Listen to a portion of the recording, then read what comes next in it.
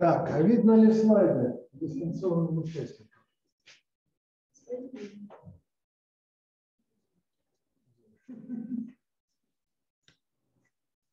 Хорошо. Тогда давайте начинать. Я еще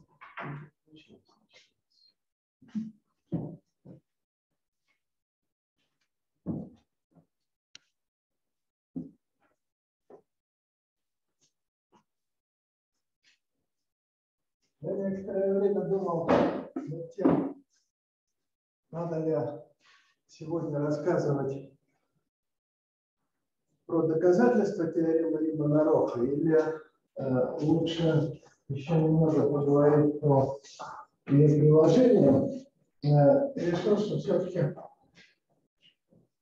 доказательством мы займемся уже после праздников, а сегодня э, еще про разнообразные глубокие приложения теоремы. И начнем с задачи Вертакля собственно, из которой эта теорема и выросла. Дёшка Вертакля знаменитый, наверное, самый знаменитый, хотя, может быть, и не самый выдающийся из шведских математиков, он много сделал для поддержки Ковалевской. В свое время, в свое время ему удалось сделать ее профессором Стокгольмского университета. Она была первой женщиной профессором математики в европейских университетах, а сейчас под Стокгольмом имеется институт Наталья Флера, который предназначен для математических встреч. Он сделал в видео, которое Наталья Флер закупил а, а, когда-то. И такое замечательное совершенно место, э, не только по своему расположению и устройству, но и потому, что там совершенно фантастическая библиотека, которая есть журнал «Контрабит» Парижской академии начинает по-моему с 1607 вообще там приоритеты очень приятно очень важно. Ну, просто физически можно щупать, читать. Это очень приятно. Задача метаклифера состоит в следующем. Для данного набора главных частей локальных мироморфных функций в полюсах на данной кривой определитель является ли он набором частей, главных частей некоторые мироморфные функции, или имеющие других полюсов, или не является. Набор главных частей и пытаемся по этому набору понять, происходит ли он из какой-то функции. Значит, э, о чем здесь речь? Вот, допустим, у нас есть комплексная кривая. Есть какая-то э, комплексная кривая, есть какая-нибудь функция, функция из CCP. В этой функции есть какой-то набор полюсов.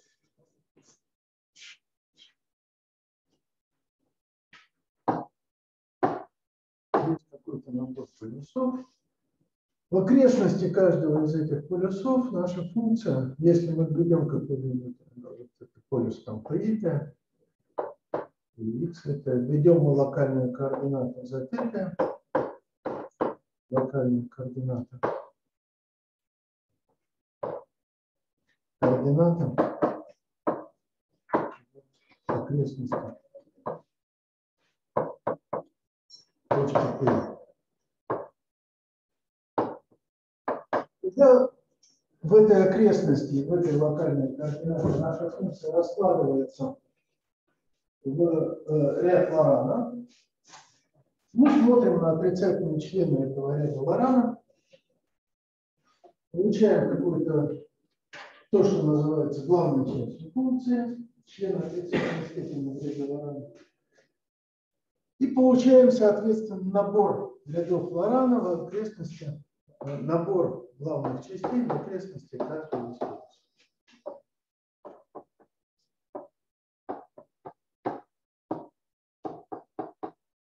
Задача метательных мер обратная. Допустим, у нас есть кривая, есть набор точек. На этой кривой есть главная часть каждой из этих точек. Спрашивается, происходит ли этот набор главных частиц какой-то функции или. Из какой-то мироморфной функции. Формальное определение главной части состоит в. Главную часть мы определяем как класс эквивалентности голоморфных функций, или мироморфных функций в данной точке или в окрестности данной точки. Мы говорим, что две, две мироморфные функции f и g, определенные в окрестности данной точки. Мы можем говорить данной точки кривой или данной точки просто, или просто в диске центром данной точки. Мы говорим, что две функции имеют одинаковую главную часть, если их разность не имеет полюса в этой точке. Значит, тогда главная часть порядка k функции в данной точке x это класс функции с полюсом порядка k в x относительно этого отношения.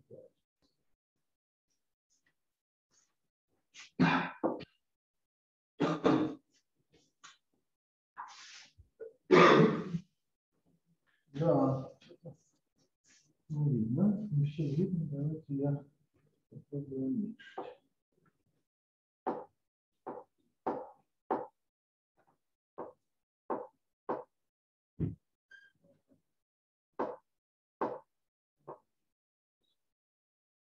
Так чаще. Значит, две функции с полюсом порядка k в точке x любой c имеют в этом полюсе одинаковые главные части. Если в какой-нибудь координате z в окрестности этой точки x, а тем самым в любой координате z в окрестности точки x, разложение этих функций ряд Лорана имеет один и тот же набор коэффициентов при отрицательных степенях перемены.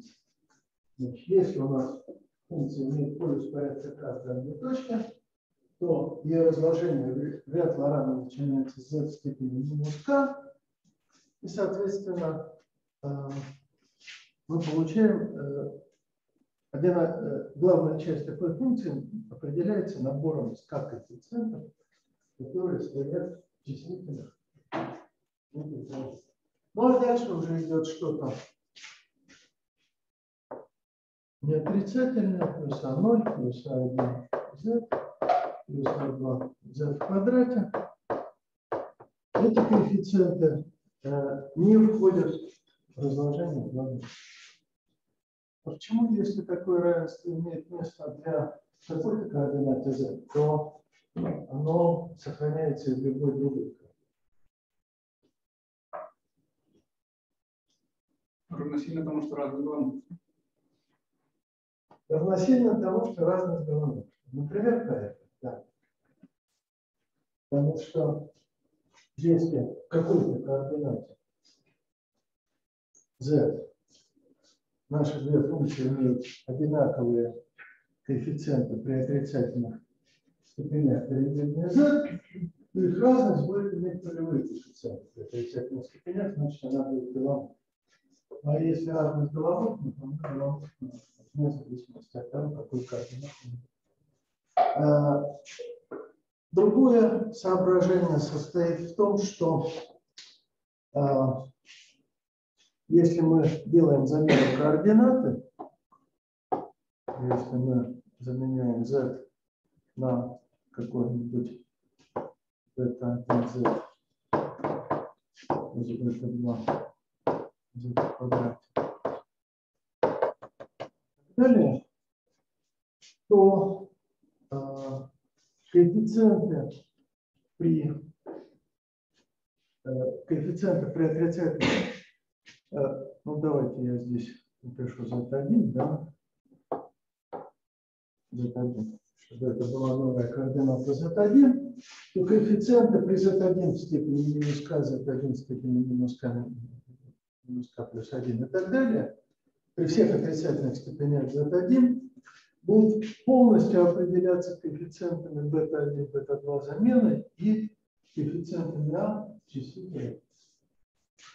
Коэффициентами А при отрицательных степенях переменной коэффициенты, которые отвечают за положительную часть разложения, уже никак не влияют на коэффициенты нового разложения э, по степеням переменной z1 при отрицательных степенях переменной z1. И поэтому, если какие-то а были, то они полностью определяют новые значения. Новые значения. коэффициенты бета-1, да? Что? Возьми только коэффициенты бета-1. Нет. Бета-2 подавленные, они более Ничего подобного. порядок мало. Бета-1 не равен нулю. Ничего подобного. Но если бета 1 равно нулю, то это э, э, не замена. Вот. Если бета 1 равно нулю, то это, то это не замена. Но если у вас есть, например, единица, поделить на z в квадрате, да, э, то вы подставляете единицу поделить на э, бета 1, z1, бета 2 z1 в квадрате, а бета-2 z1 в квадрате плюс квадрат. В квадрате, да? Это и бета-1 z1 надо вывести, чтобы мы могли раскладывать дальше. Будет бета-1 в квадрате z1 в квадрате. Здесь будет стоять единица плюс а, бета-2 поделить на бета-1 z плюс z квадрате. Правда? Бета-2, бета-1, Вот. И это будет, давайте, если я э, беру только начальные члены разложения, то это будет единица минус 2 бета-2 поделить на бета-1 z поделить на бета-1 в квадрате. Z1. z1 в квадрате, z1, да. Вот. И вот этот член z1 поделить на z1 в квадрате, вот с этим коэффициентом минус 2 бета-2 на бета-1, он дает вклад коэффициента разложения при единице на z1. А, Понятно, да? Он не влияет. Так. Что произошло? понятно. Он не влияет на коэффициент единицы поделить на z1 в квадрате, там остается только единица на b1 в квадрате, но он влияет на коэффициент единицы поделить на z1. Дает вклад коэффициент единицы поделить на z1. Давайте напишу. Единица поделить на b1 в квадрате. Минус 2 бета 2 поделить на бета 1 кубе. Дальше что?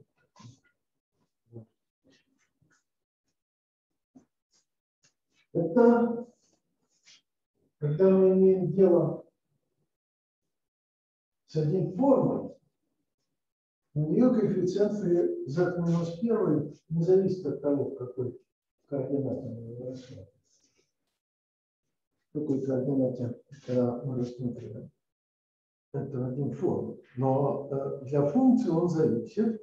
То есть для одних форм он зависит, что если мы берем на коэффициент единицы на z, а коэффициент единицы на z в квадрате, единица на z в кубе, он тоже зависит от того, какой локальной координаты мы рассматриваем.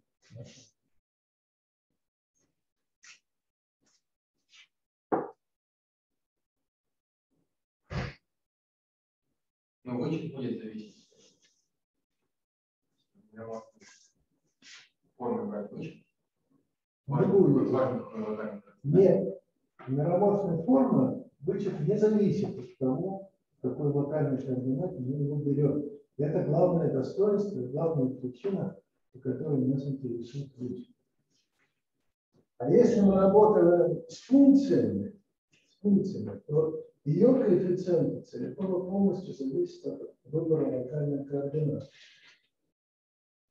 И любой коэффициент этого разложения может измениться. А один формы коэффициент на z не меняется. От того, какую локальную координату мы берем. И это и есть главное, почему нас интересует. Значит,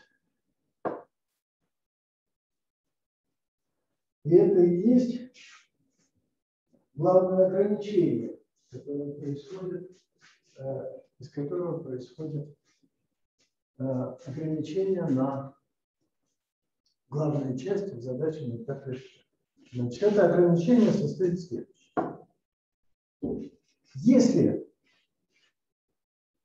наш набор главных частей является набором главных частей какой-то функции f,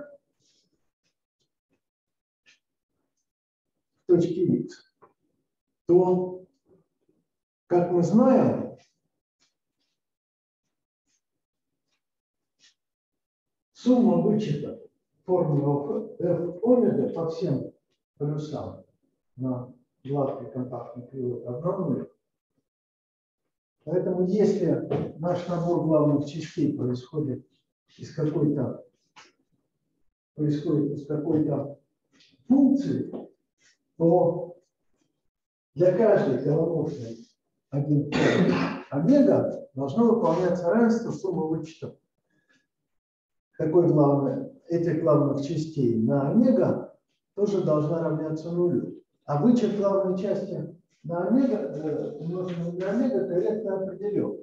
Нам достаточно, да, нам достаточно знать только главную часть функции в точке x, с тем, чтобы определить вычет f омега в точке x. Если у нас главная часть, если f какой-то немножко поделить на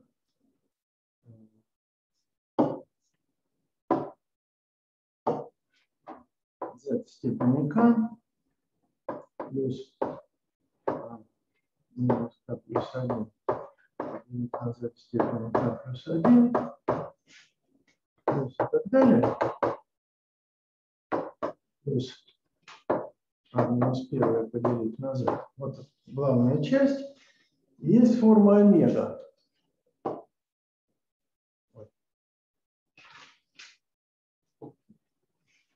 Это я пытался... Нет, я не уведу, я хотел немножко сменить цвет.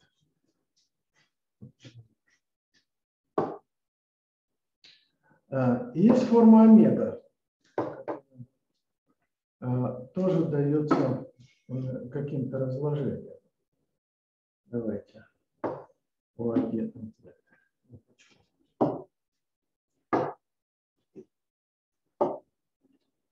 Будет c плюс c1 z c2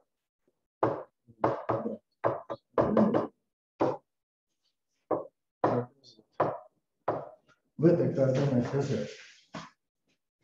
Вот. Мы умножим f на омега. Мы получим какое-то c0 на минус k на z в степени k плюс дальше еще будут какие-то члены. Плюс будет какой-то я не знаю, давайте я напишу c большое поделить на z. Дальше еще будут какие-то члены на dz. Вот. Так вот эта величина c, которая стоит в качестве коэффициента единицы на z, выше сохраняет. Она не зависит от того, какой координате Z мы рассматриваем, э, какой координате Z мы выписываем главную часть, в какой координате Z мы выписываем э, форму омега, лишь бы это была одна и та же координата. Вот это C, вот это C. И есть вычет нашей, э, нашей главной части f омега у нас то, что мы пишем f омега, она не определена нигде, кроме как некоторые окрестности точки x. Но она определена в окрестности точки x, и мы можем сказать, чему равен э, формы э, главной части f омега в точке x. Вот этот коэффициент обязательно единица, разложение формулы f омега в этом. Везде. А, Можно брать мироморфную формулу, это тоже На слайде написано.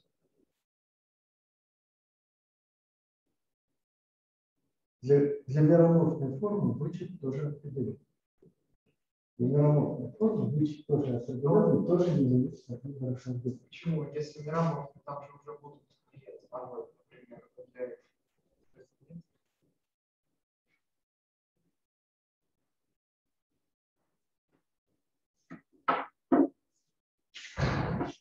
Если, если у нас здесь есть какой-то c минус 1 поделить на z, минус 2 поделить на z в квадрате, конечно, они будут все влиять на этот самый коэффициент.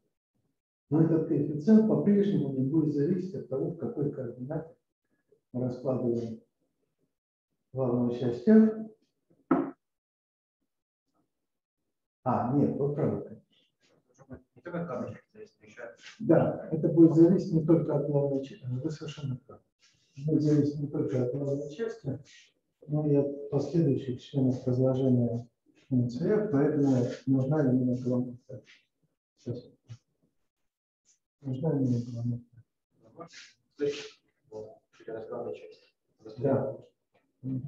В этих точках мы сделать.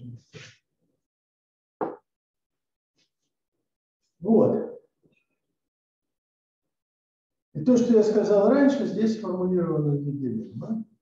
Если данный набор главных частей f1 fn в точках x1 xn нашей кривой c является набором частей некоторыми, набором главных частей f,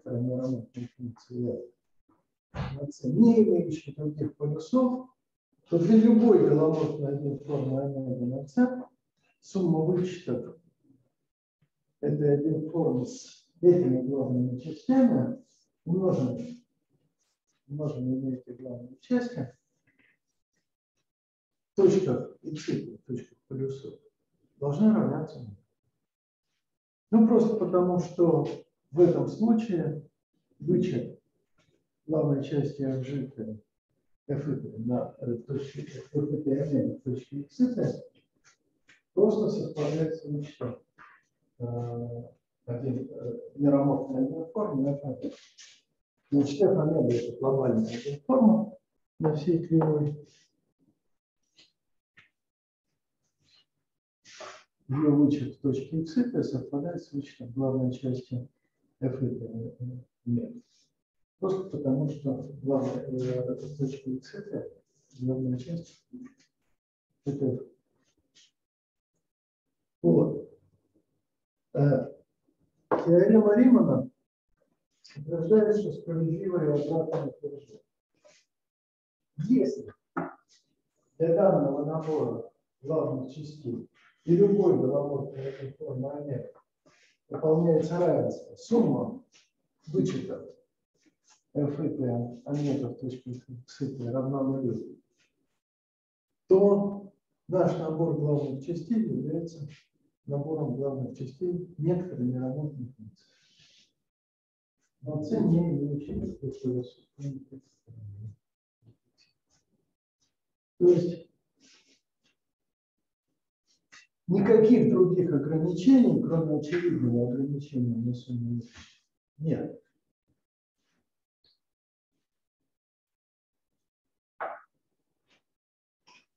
Давайте посмотрим, почему это так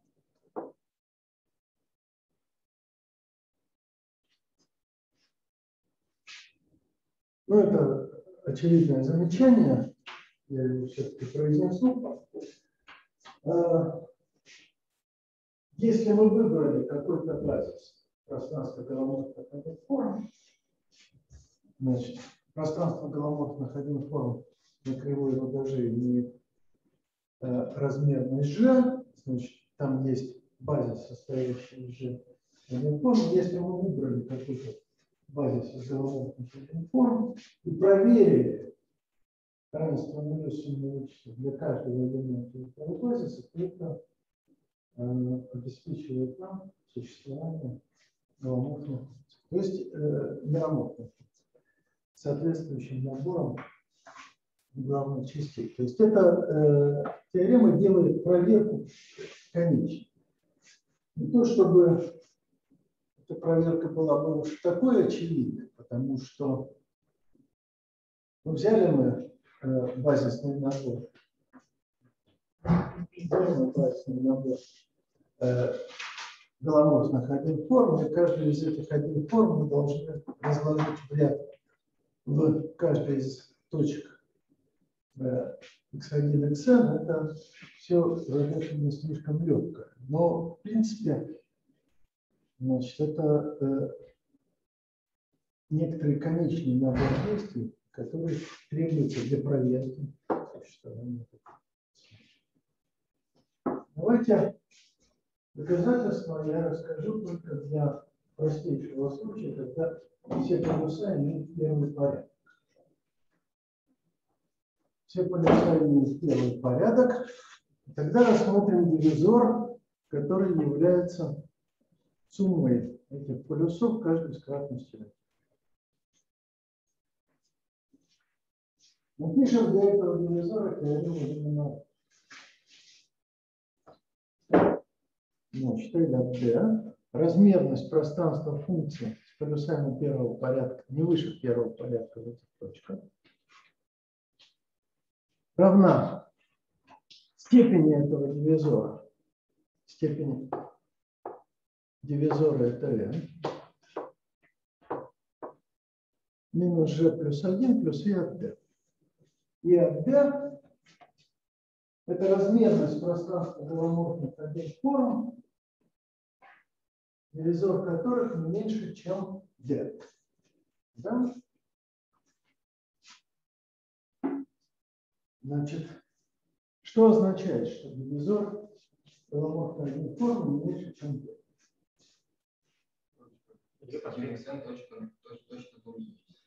Значит, это такие один формы, которые обращаются в ноль в этих точках голоморфная форма, обращающаяся, обращающаяся в любых точках. Они образуют векторное пространство, потому что линейная конференция выглядит как один форма. Тоже обращается в этих точках. Значит, размер этого векторного пространства равно e Вот. Значит, Главная часть, каждая, главная часть каждой такой точки, э, глав, главная часть с полюсом порядка 1 это имеет локальной координате вид минус первое поделение на Значит, у нас имеется n-мерное пространство главных частей. Каждой точке у нас задан, координат, задан коэффициент единицы на у нас имеется мерное пространство главных частей. И на это мерное пространство наложено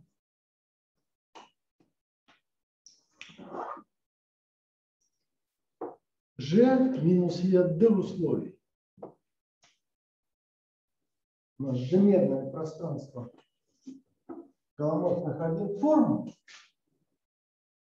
Но из этих голоморфных один форм и Э, от D мерное пространство никаких условий не накладывает. Форму, которая равна нулю. Значит, у нас имеется G минус от D мерное пространство.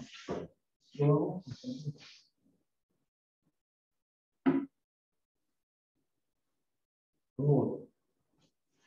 А это означает, значит, что на эти главные части, а также на константу, у нас есть еще константа, у нас имеется одномерное пространство главных частей плюс одномерное пространство констант. Значит, у нас n плюс 1. n плюс 1 возможности, и на них имеется g минус e от d ограничений. А больше никаких ограничений.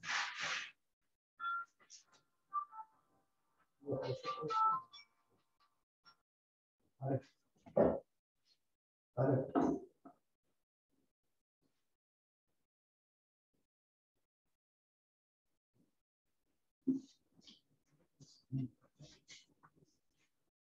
А больше никаких э, ограничений нет. Все. Значит, если у нас есть набор главных частей такого вида, и он удовлетворяет G минус E от D условия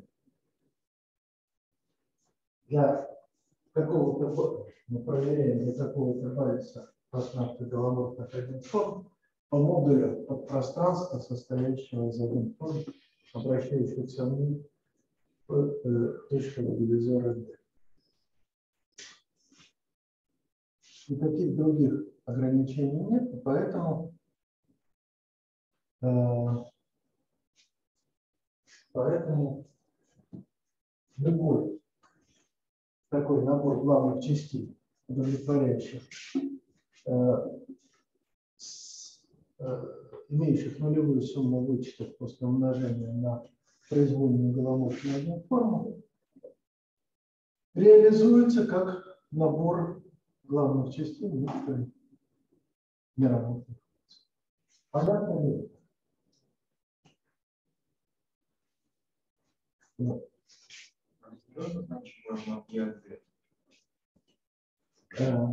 Чему бы оно не равнялось? Нас интересует только разность. Шейный связь. Ну, раз, если мы знаем разность, то это важно, важно, что это значение E от D. E от D зависит, зависит от набора точек.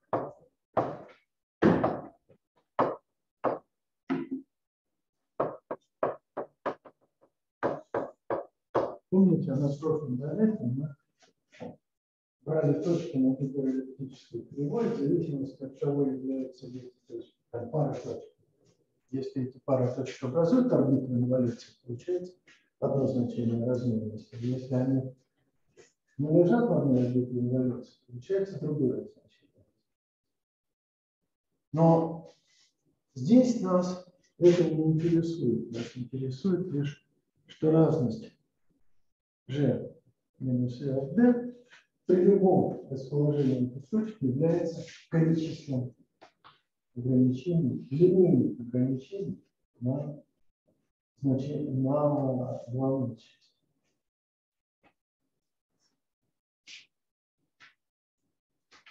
Ну, так как вот это L от D не равно нулю, да, и как бы больше единицы,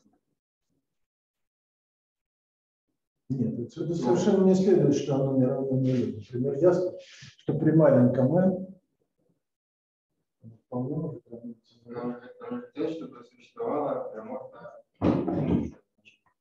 размерность должна быть больше, чем 1. Мы говорим, что неработная функция существует тогда и только тогда, когда выполняется условие. Сумма вычетов по всем полюсам сумма вычетов главных частей, умноженных на данную головную форму, равна нулю для всех головных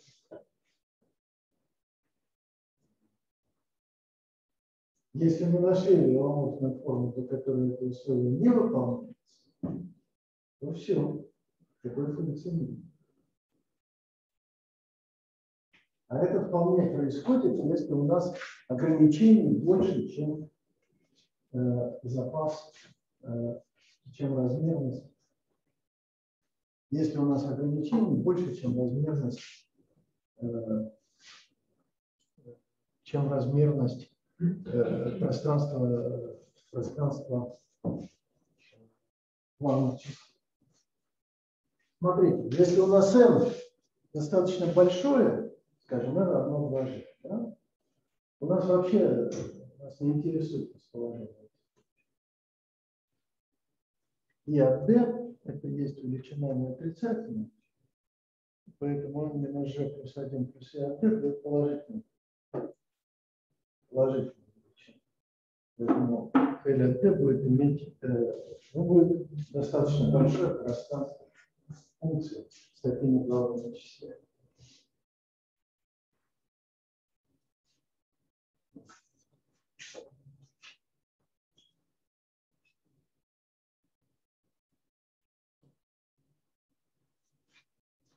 Так.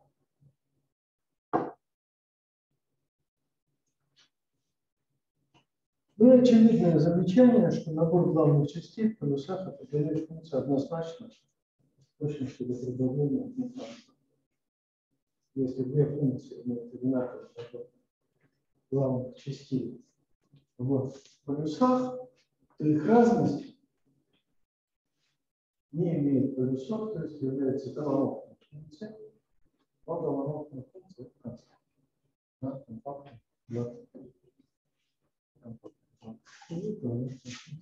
А почему то же самое рассуждение не будет работать, если мы хотим, ну, не ограничиваться в случаях, когда все полюса первопорядка? Потому что это вынесенная задача. А, ну, сейчас а, очевидно, что я пропустил то, что э, вот эти вот э, ограничения, это именно G минус 3 от D. Понятно, что ограничение не, не больше, чем 100.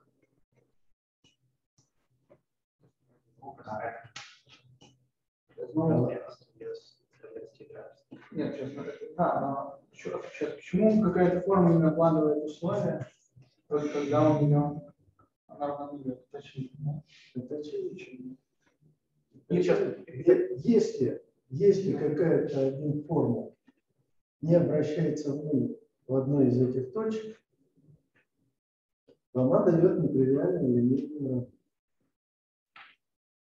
Правда? да. И все-таки рассуждение будет ровно так же работать, если у нас Ну, дойдет. Вот.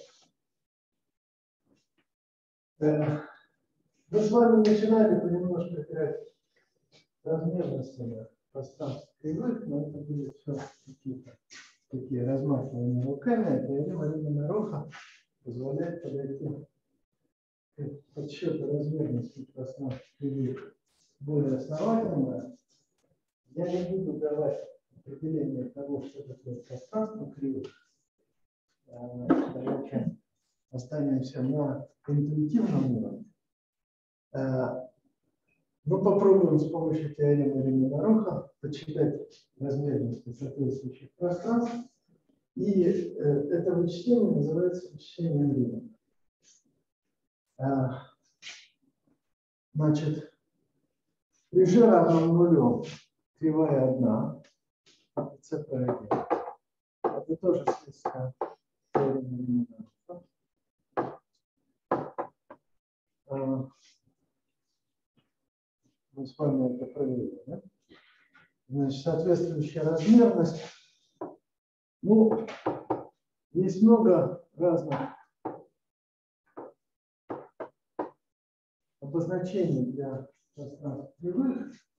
Иногда это был ну, обычный вариант с индексом, а, который а, в индексе стоит рост.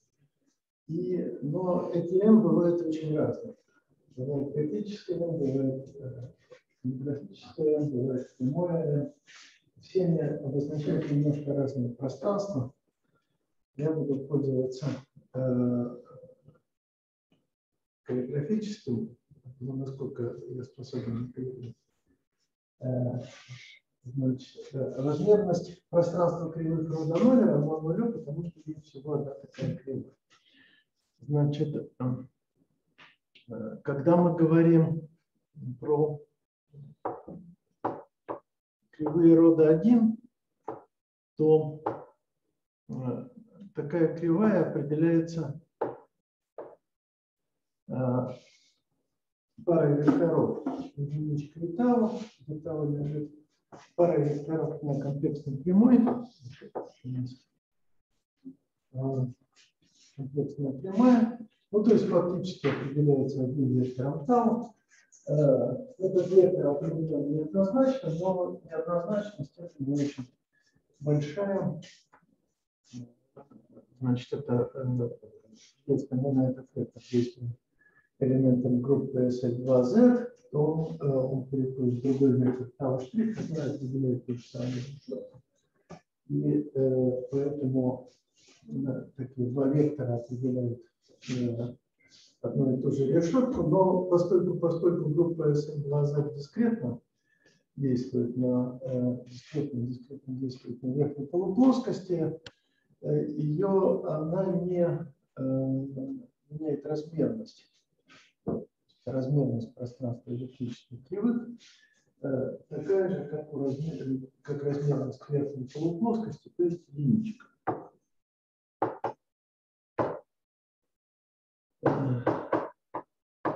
Вот э, про кривые старших родов мы с вами э, еще не говорили совсем. Э,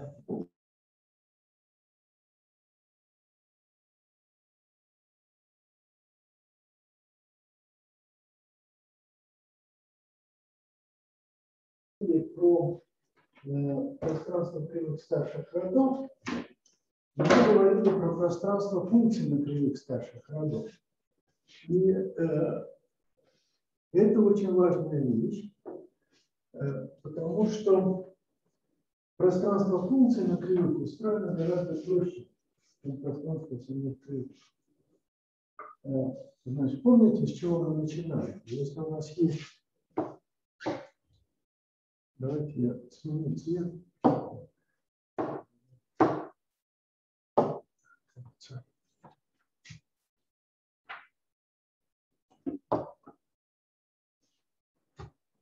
Значит, а, если у нас есть какая-нибудь кривая,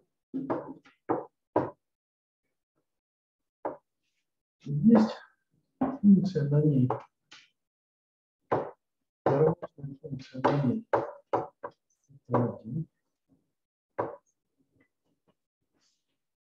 Степени d. По теореме Римана-Роха, если эта функция имеет только точку простого ветвления, то э, виноват, по Риману-Роха, по Риману Количество этих точек простого ветвления равно 2d плюс 2g минус Значит, у нас где-то на проективной прямой имеется 2D плюс 2D плюс 2G минус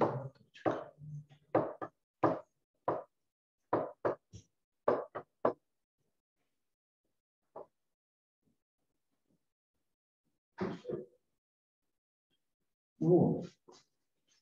Ну, если какая-то какая функция есть, то значит у нас имеется набор монодромей вокруг этих точек.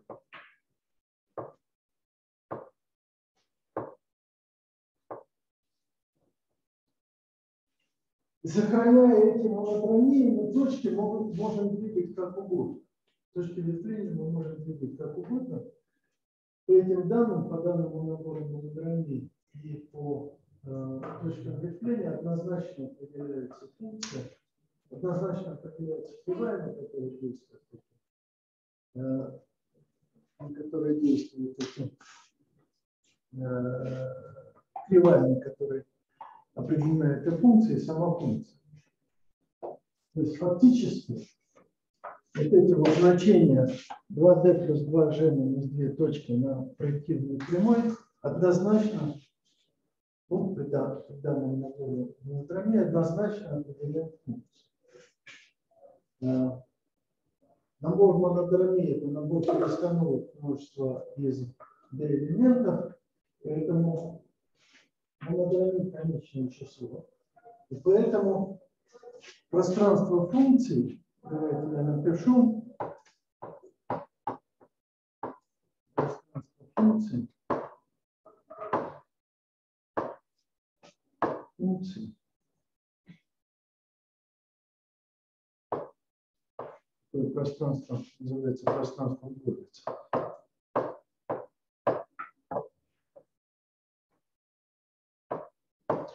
Является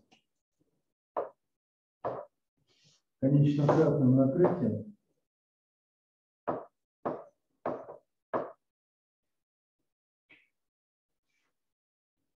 Накрытием.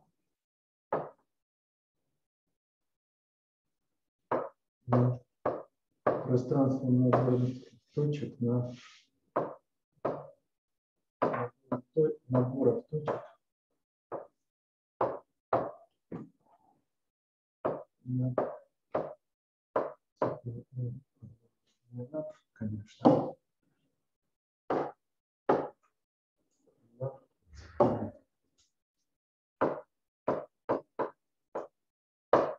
Вот. Из-за смысла пространств функций человечество довольно много знает про эти самые пространства. Есть замечательный инструмент наук изучения. Вот эти точки ветвления образуют наборы локальных координат пространства функций. Поэтому пространство функций гораздо лучше изучено, чем пространство кривых, про которые пытаются уже много десятилетий найти какие-нибудь разумные языки и э, разумные техники, позволяющие их изучить. Пока, э, несмотря на замечательные достижения, продвинулись пока в этом изучении не очень далеко. Вот. И вычисление Римана устроено ровно таким образом. Мы знаем, размерность пространства функций данной степени d на кривых продажах. И, пользуясь теоремой Римана-Роха, вычисляем размерность пространства кривых как разность размерности пространства функций на всех кривых и размерности пространства функций на одной.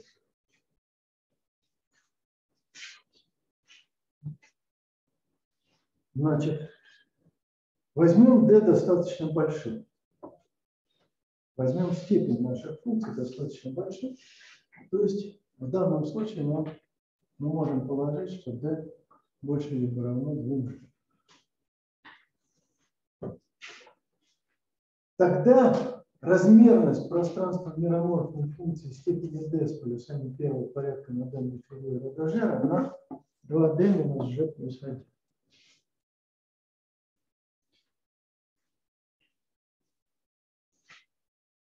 Как это вычисляется?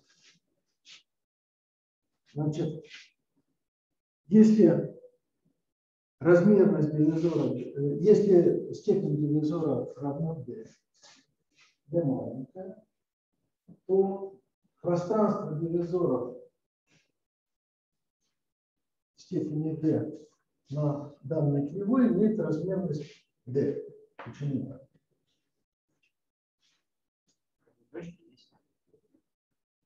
Ну, кривая одномерна, поэтому выбор точки на эту кривую это следует размерность пространства дивизора в степени d. Это какое-то подпространство, это открыт, открытое подпространство в этой степени нашей кривой. Кривую, берем ее э, степень d, и как его произведение кривой на себе d раз Определенная. Что? Это не важно, на размерность это не влияет. Правда? На размерность это никак не влияет. Вот. Значит, пространство дивизоров имеет степень D. Теперь, если мы берем конкретный какой-то дивизор, то теорема Римана-Роха для него дает L от D есть D минус G плюс 1 плюс E от D. Но от D равно нулю. Потому что головная не может иметь больше, чем выражение минус 2 нуля. Поэтому пространство головных форм, обращающихся в во всех точках нашего телевизора, а мы потребовали, чтобы D было меньшей мере 2G. Пространство таких головных форм мы видим. Поэтому E от D нулю, поэтому L от D здесь просто D минус G плюс 1. Вот. Прибавляет D минус G плюс 1 D пространство, размерность пространства телевизора. Получим как раз 2D минус G плюс 1.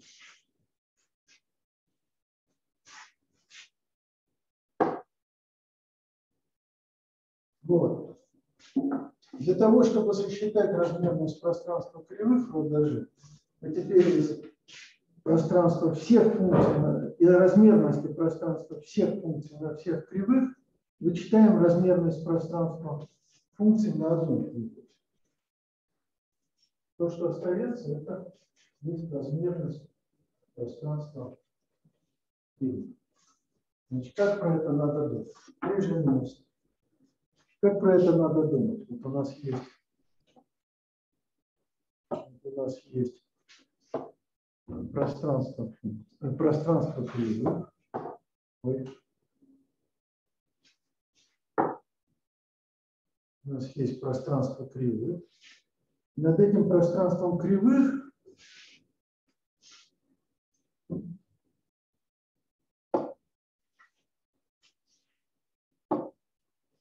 Над этим пространством кривых есть пространство функций. Для каждой кривой мы берем все функции, которые на ней определены. Все функции степени d, которые на ней определены. Возможности этих слоев пространства функций расслоены над, э, над пространством кривых. Размерности слоев все одинаковые равны d на g плюс 1 размерность всего пространства функции есть размерность базы плюс размерность слоя. Она равна прижимности. Э, размерность базы равна прижимности.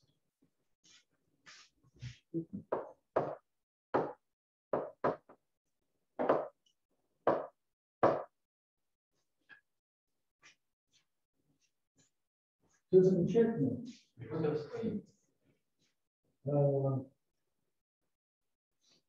Я даже не сказал, что такое пространство кривых. Вы хотите сказать, что я, вы хотите, чтобы я вам сказал, почему это расстояние. Я предположил, что это А что это такое? пространство.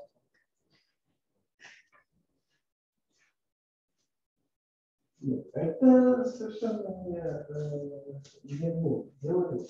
И, э, по всей видимости, у Юмора не было четкого определения. Он был такой вот образ, какой такой, который сидит у вас в голове, но четкого определения у него не было, при этом он все сделал сам. Нет, я мне стало исторически интересно, потом определил кто-то потом. Ну, конечно. Ну, а кто и как? Через какое-то время.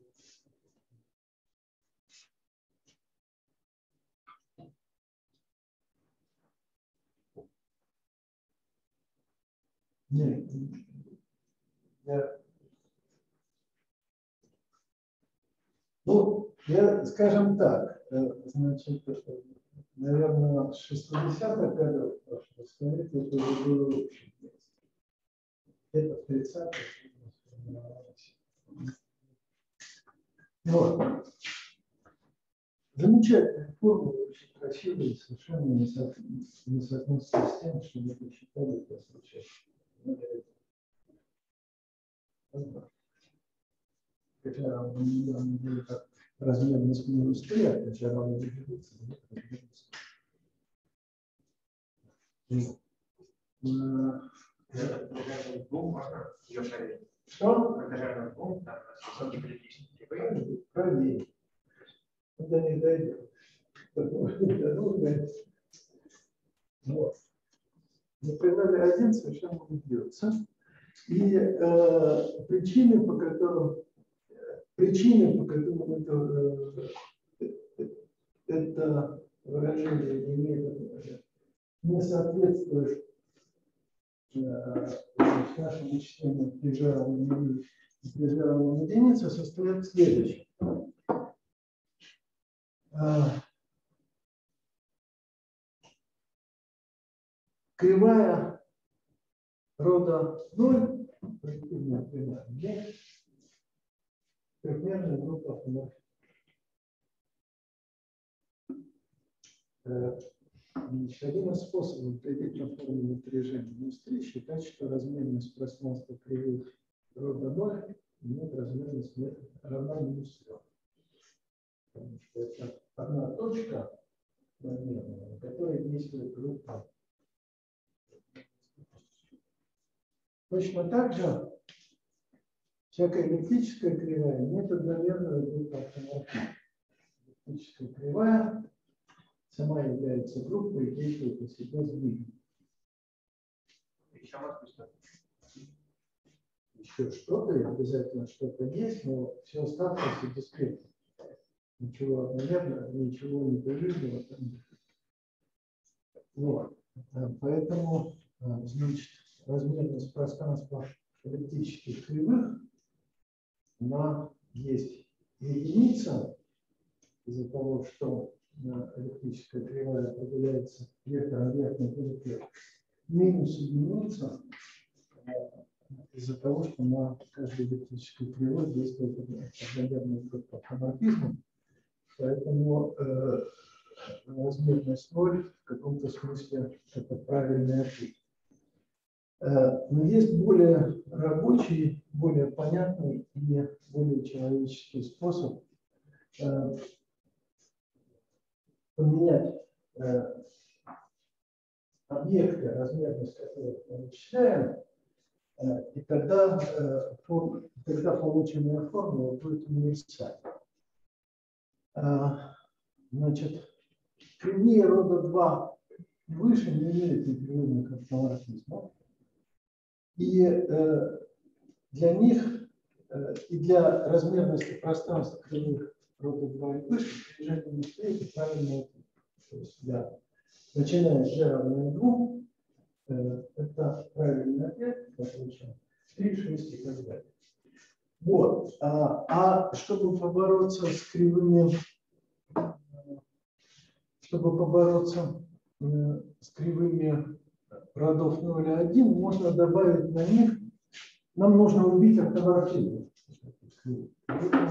Можно добавить на этих кривых, э, добавить на этих кривых э, точки, э, отметить на этих кривых точки, ну, например, там, если мы имеем дело с проективной прямой, если мы имеем дело с проективной прямой, то мы можем добавить на ней э, три или больше точек.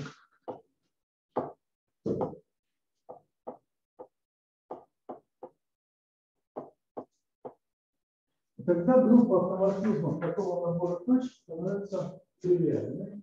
Группа автоматизмов кривой сохраняется становится тривиальной. Вот.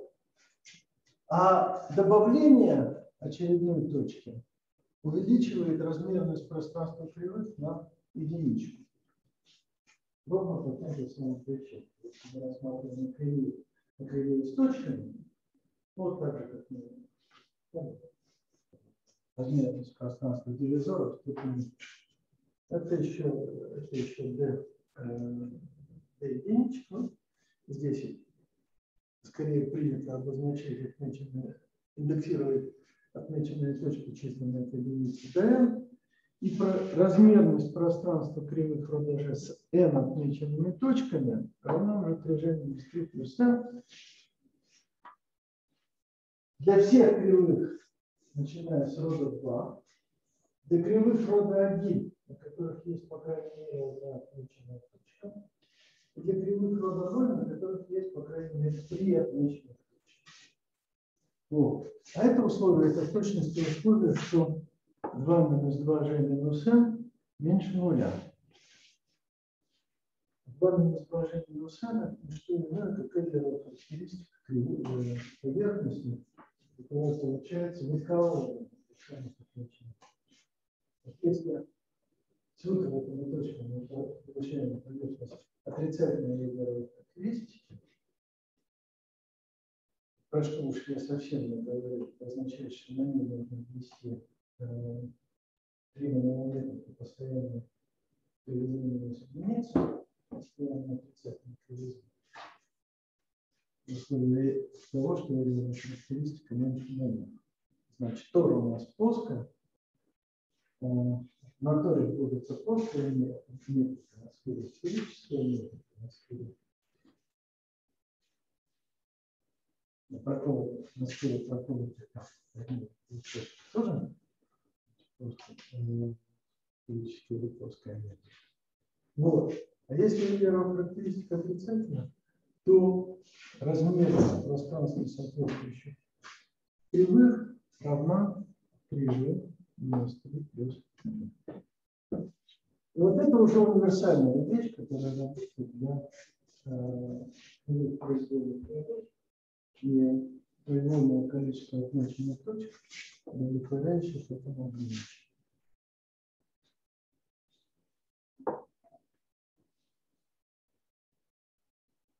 Вот. А давайте действительно про... А, нет, это, по-моему, не на задаче поставлено. Не будем сейчас проверять, где равно 2. А, там, а, значит, в прошлый, в прошлый раз мы с вами проверили, что вывели из теоремы Рима Нароха, что всякая кривая рода 2 является гиперэллиптической. Да? Теперь мы разберемся с кривыми рода 3. А, для этого потребуется следующее дело. Если мы в проективном пространстве размерности g минус 1 берем кривую рода g степень, которая равна 2 равно минус 2, при том, что она не лежит ни в какой плоскости эта кривая является канонической. Что каноническая Значит, напоминаю. Давайте. У нас было два определения. но э, координатное, другое бескоординатное. Координатное определение. Если вы зафиксировали какой-то базис пространства голоморфных один форм,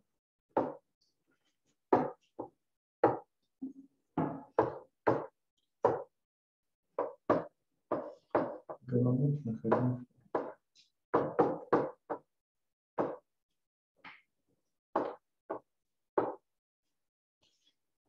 Экономическая кривая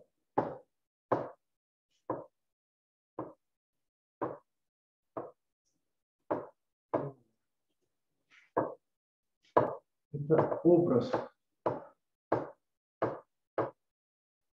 кривой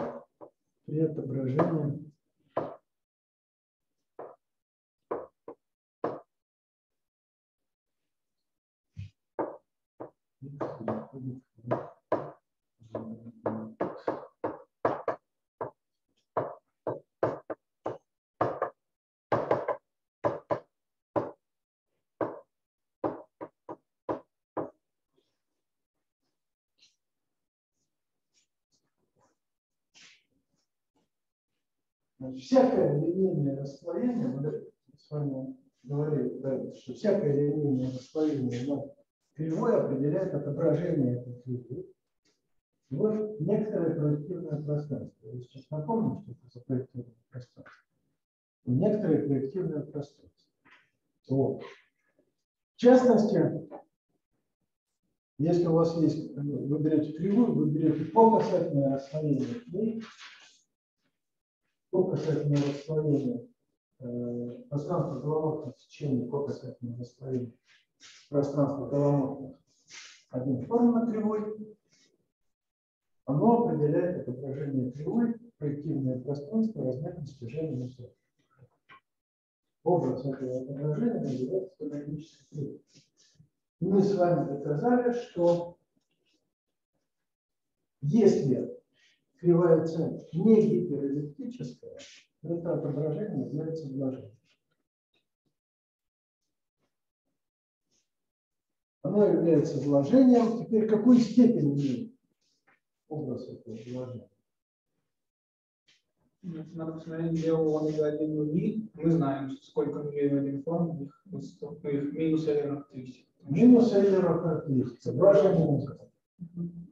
2 же минус 2. То есть при таком отображении мы, мы получаем кривую степень вложения минус 2, мы получаем кривую степень вложения минус 2 в пространстве размерности c минус 2 в проективном пространстве размерности G минус То есть это вложение, поэтому образ будет иметь род G, степень 2G минус 2, и, э, и он не будет лежать на такой гиперплоскости. А почему? Потому что нет канонических базисных точек у, у, у кокосового Да у кокосетного растворения нет базисных вот. Поэтому он не попадает ни в какую, а, ни в какую гиперплоскость. А это утверждение обратно. Если у вас пространство... Еще раз, э, базисных точек нет, значит, все не. Это значит, что отображение определено. А э, Давайте посмотрим. Значит,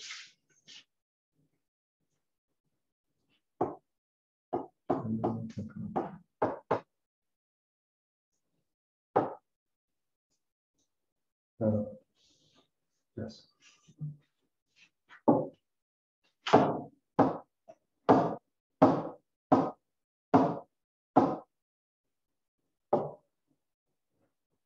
Значит,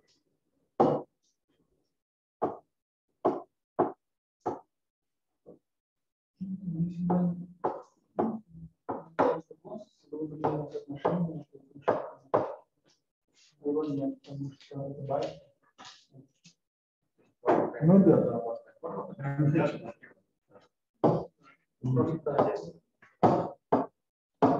Просто это потому что это баланс. Потому что это да. Потому что это да. Ну, мы сейчас увидим. Сейчас увидим. Значит, э, давайте я пока напомню второе определение. Исходное определение, которое я давал, а, которое годится для любого линейного расслоения. Значит, если есть линейное расслоение, расслоение определяет. Э, отображение.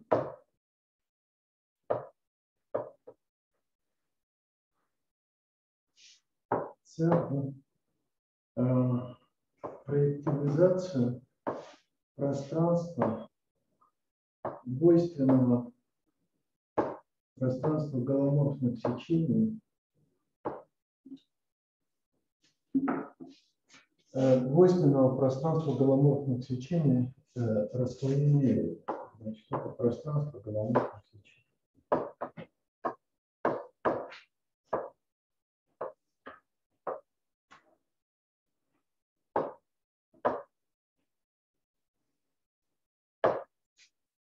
Потому что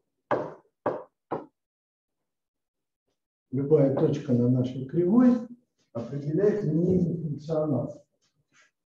Посмотрите, головного сечения с точностью до умножения на константу. Значит, если есть два сечения, как у нас есть,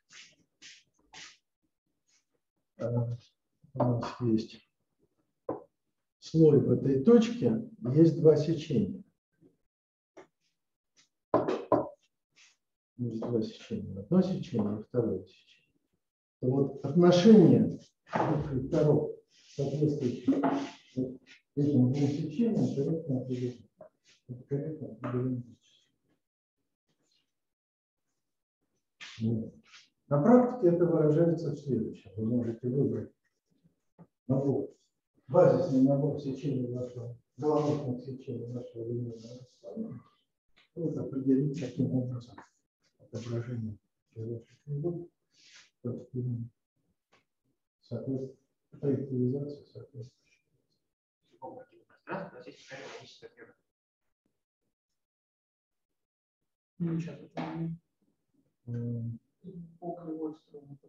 не очень понятно, что такое любое. Что такое любое проективное пространство. Есть проективное пространство, и вопрос про кривые в нем. То есть Изначально есть любовь. ЦПЖ. Если вы зафиксировали какое-то значение, какое значение рода э, и рассматриваете пространство CPG минус 1, то да, там, начиная с G равно 3, начиная с G равно 3,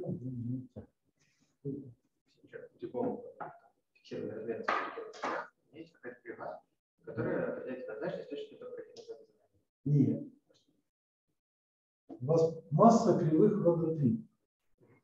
У вас имеется 3G минус 3, то есть шестимерное пространство кривых рода 3.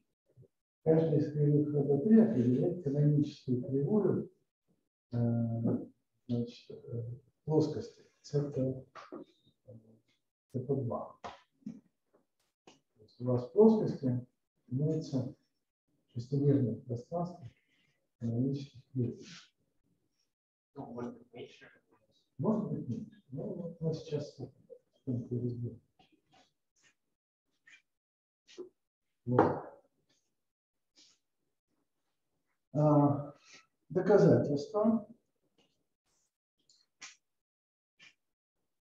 Значит, возьмем кривую рода g степени 2g минус 2 в проективном, в g минус одномерном проективном пространстве. Пересечем ее гиперплоскостью. В каком количестве точек гиперплоскости пересекаем? Два же минус точки, поскольку по сути кривая имеет степень два же Мы получаем в результате дивизор на нашей кривой, дивизор гиперплоского сечения. Вот у нас кривая как-то. Вот. Пересекая гиперплоскостью, мы получаем на ней диви- дивизор гиперплоского сечения, состоящий из э, 2G минус 2 точек. Теперь имеется две возможности. Либо этот дивизор совпадает с каноническим дивизором, ну, эквивалент каноническому. Канонический дивизор – это дивизор нулей любой э, ну, дивизор нулей любой, э, дивизор нулей любой головок на один фон. Э, значит, если этот дивизор нулей головок не имеет формы, то тогда наше отображение есть э, каноническое отображение. Потому что дивизор гиперплоских сечений линейный эквивалентен каноническому явлению. Вот. Либо, либо это разные дивизоры. Вот. Либо это разные дивизоры. И тогда Э, размерность пространства неравномерных функций. Размерность пространства неравномерных функций. Э, дивизор которых больше, чем d минус k, и меньше, чем d минус k, равен нулю. Значит, во втором случае давайте напишем, как выглядит теорема Лимонароха.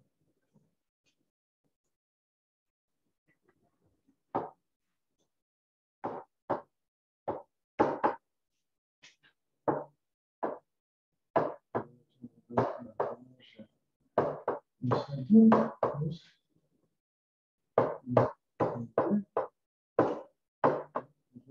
1 плюс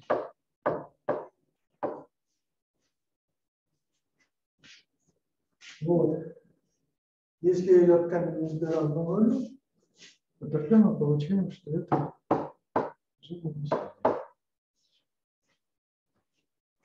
Вот. Это означает, что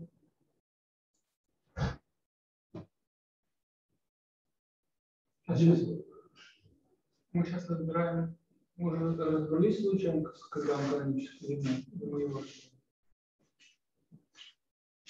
Если этот камень размером равно нулю, это означает, что дивизор d канонический.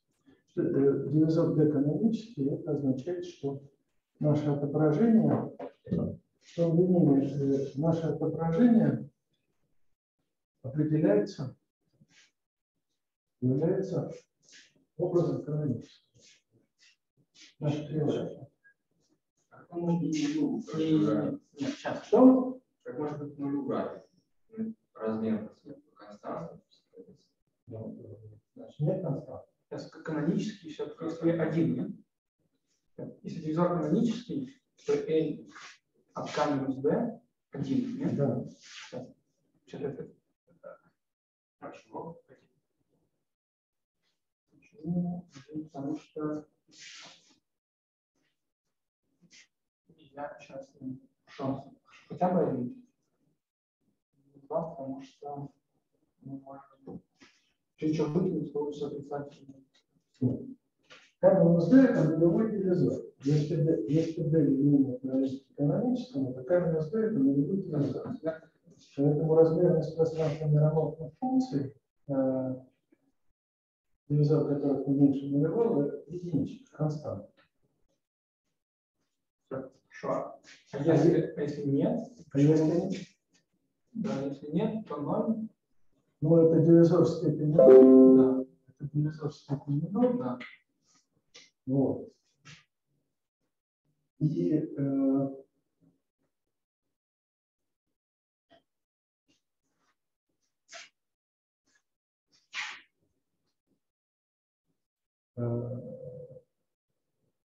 значит, что это означает? Что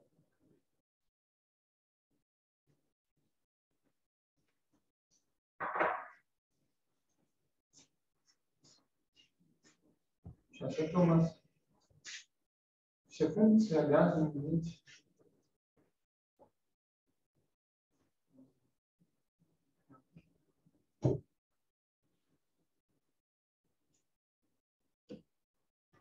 Ну, хорошо, дивизор, дивизор степени 0, он э, можно равноровно написать, что будет L от дивизора степени 0. А будет 0 минус g плюс 1.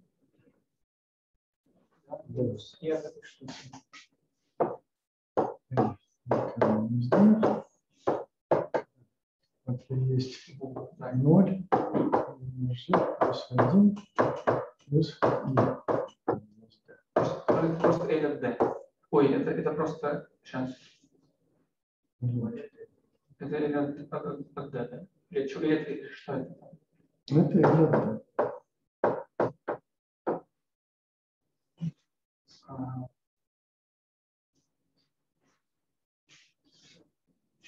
хотим понять, почему. Заскок. Заскок. Так.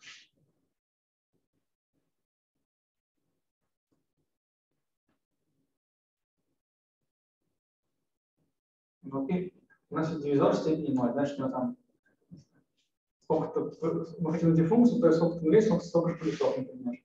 Ну, это всегда так, любой функции стоит. Ну, вот их, их там поровну, да, сейчас такое вполне бывает. Да, Нужно конечно. просто накрытие, изображение.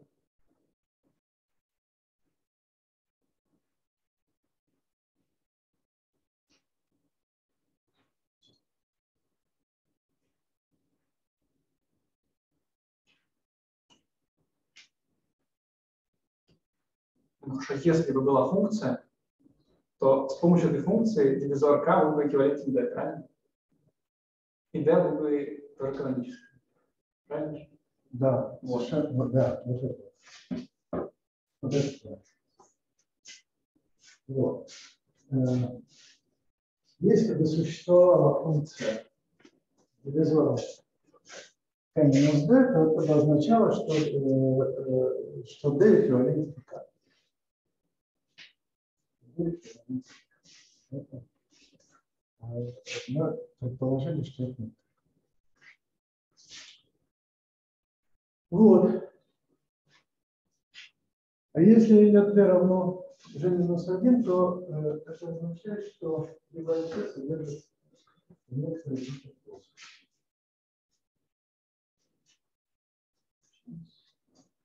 В этом случае является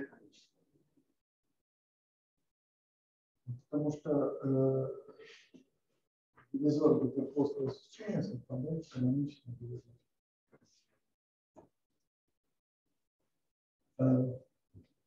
если это кривая, что у нее.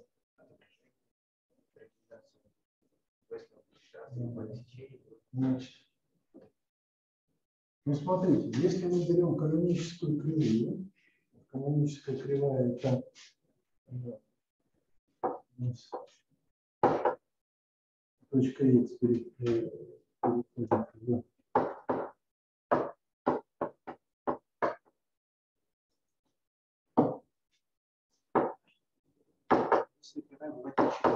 Мы берем, берем эту самую кривую и берем у нее каноническое вложение. каноническое вложение этой самой кривой. Значит, другой прикидный пространство. что? Вот какое-то другое прикидное пространство тоже. Ну, ну той же размер. Я не знаю, что означает другое. Ни- ни- Никак Ну да. Нету Нет, у них есть, конечно, изоморфизм, потому что если у вас есть два проективных пространства, которые выложены два образа одной и той же кривой, да, причем ни в одном из них кривая не попадает в гиперплоскость, то вы говорите, достаточно там, g плюс одну точку, э, для g точек на каждой кривой, это осуществляет образы этих же точек что однозначно даже плюс сейчас не создам. Сейчас, Это непонятно. Нет, нет, мы сейчас, мы сейчас хотим сказать, что если две кривые э, изоморфны, видооморфны, то гомоморфизм осуществляется некоторым проективным преобразованием. Да, да, да, да. Не очевидно. Вообще это странно. Нет, Не очевидно. нет, нет. Нет? Ну, у нас, у нас есть два образа. Не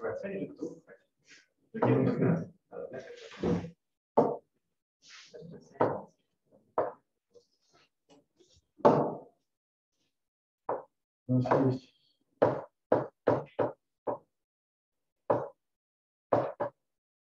у нас есть два вложения и вот целых два проективных пространства. Да? Вот. Это исходное, это каноническое. Вот. Тогда утверждается, что эти два пространства, естественно, причисляются друг другу. Преобразование. Возьмем набор точек на нашей кривой С, такой, который не попадает, образы которых не попадают в одну гиперплоскость. Э, Значит, нам нужно G точек, да?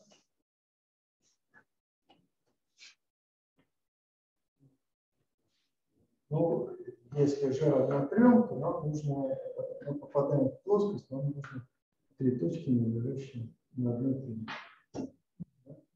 Нужно g точек.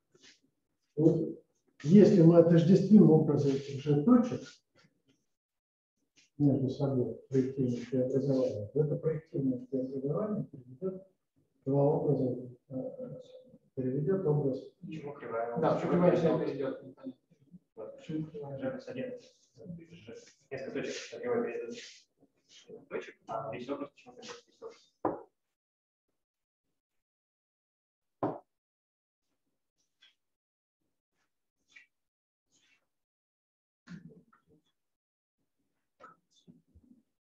Если дивизор D линейный элемент дивизора К, он определяет, имеется изоморфизм между э, линейным расслоением, определяемым дивизором D, и э, кокосветным расслоением.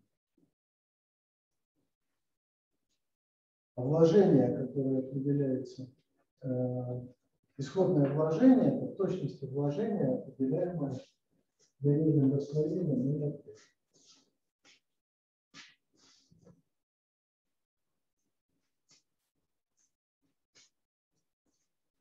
Хорошо, да, э, давайте. Э, это Сейчас, я просто хочу закончить лекцию. Да, Ну, скажи, ну, сейчас, здесь есть кривая вложена там в пространство, то это вложение есть вложение дивизора гиперплоскости. да. Совершенно верно. Из этого, из этого все следует, да? Мгм. А это так, потому что мы что-нибудь там явно построим. Да. Ну, обязательно в координатах но достаточно. Я хочу договорить про кривые РД3. Отсюда вытекает, что всякая гладкая квантика в проективной плоскости является канонической кривой РД3. Мы знаем с вами, что гладкая квантика является кривой РД3. Утверждается, что она является канонической. Ну, действительно, если у нас g равно 3, два g равно 2, 4, и, э, соответственно, мы получаем кривую в CP2. Кривую степени 4 в CP2, кривая степени 4 в CP2 не может выражать никакой прямой, ладно. Она не может, поэтому она является канонической не гиперэллиптической кривой в РТ. Почему не гиперэллиптической? Для гиперэллиптической у нас каноническое не будет сложение. Для гиперэллиптической кривой каноническая кривая не является Есть отображение на системе. Вот.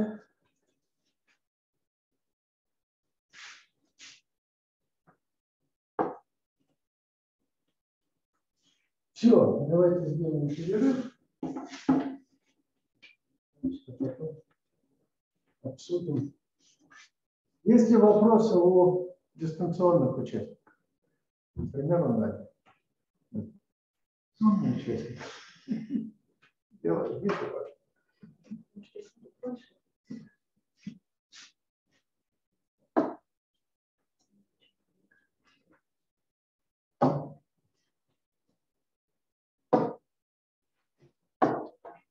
Как же... А, нужно остановить демонстрацию.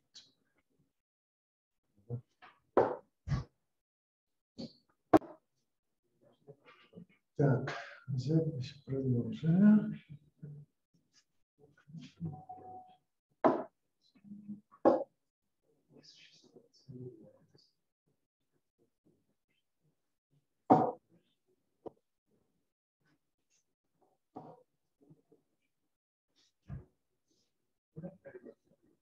Так.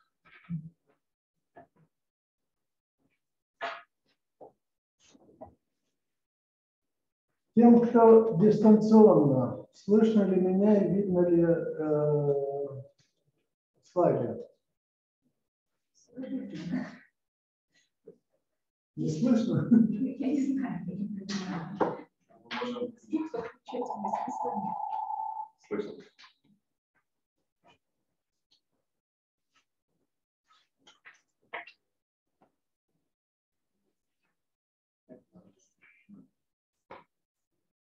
Начнем.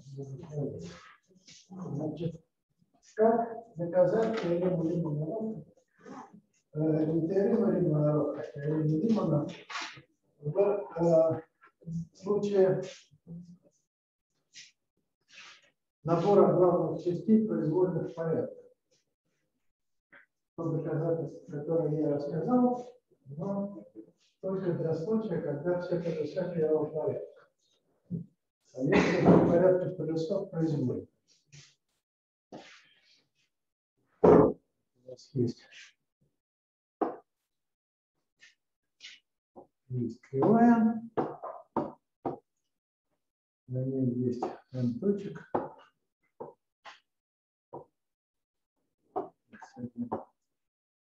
xn. А,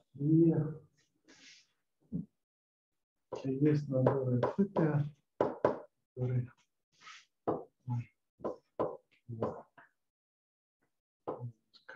и делить на в степени КИ.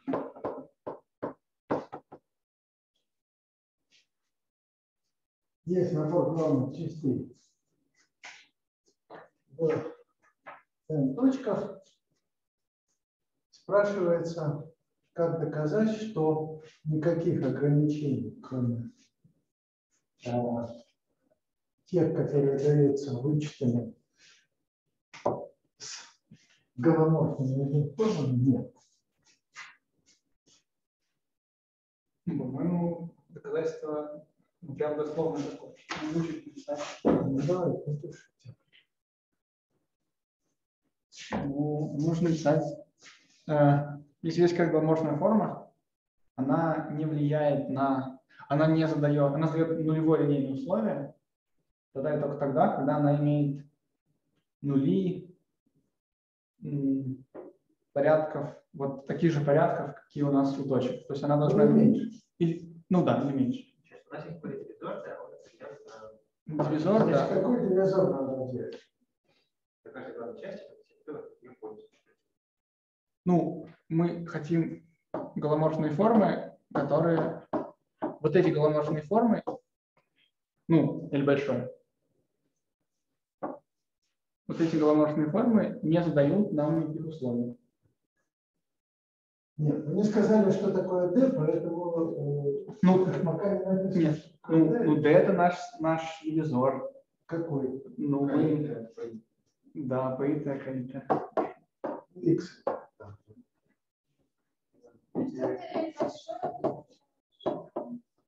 и большое это, это пространство, то самое, у которого размерность L D. Ну, это Было, было, было.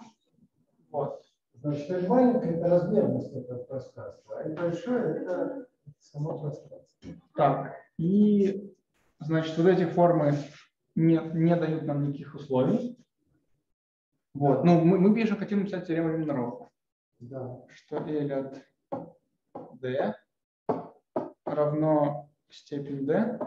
Значит, L от D – это размерность пространства функций, имеющих полюса не выше таких порядков в этих точках.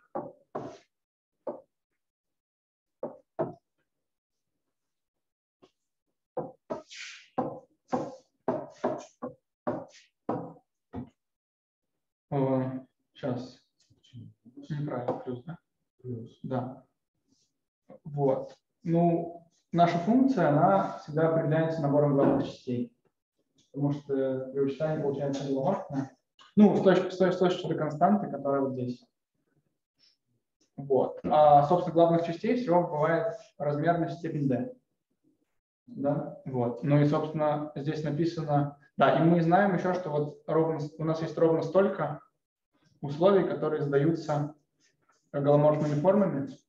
Значит, давайте аккуратно. Значит, дега D – это размерность пространства главных частей. Потому что в этой точке у нас имеется колитая, у нас имеется колитая параметр, определяющий главную часть.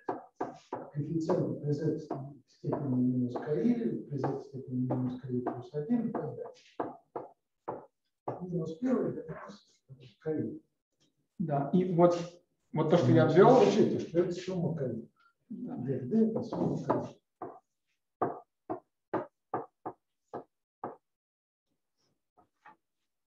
и вот то, что я ввел, это, собственно, количество линейных условий, которые задаются одними формами. Потому что все многомерное пространство, а вот, а вот формы отсюда, они не задают условий. Значит, если один форма имеет ноль порядка количества или выше, каждый из точек x, то она не накладывает ограничений. Умножая, умножая главные части на, на такую одну форму, мы получаем нулевой набор из нулевых главных частей. Мы получаем нулевой вычет за это. Поэтому, Да, ну и отсюда следует, да, что, собственно, отсюда все следует. Отсюда все следует, да. Э, это есть условия, да. Да, это и есть условие, э, но оно необходимое по очевидным причинам, оно оказывается достаточно. Там стоит омега, умноженное на. Да, Омега вкладывает G, значит, у вас вычет точки x df умноженное на омега. Если у f порядок полюса каита, если у омеги первые каиты коэффициентов равны нулю, то этот вычет будет автоматически равняться нулю.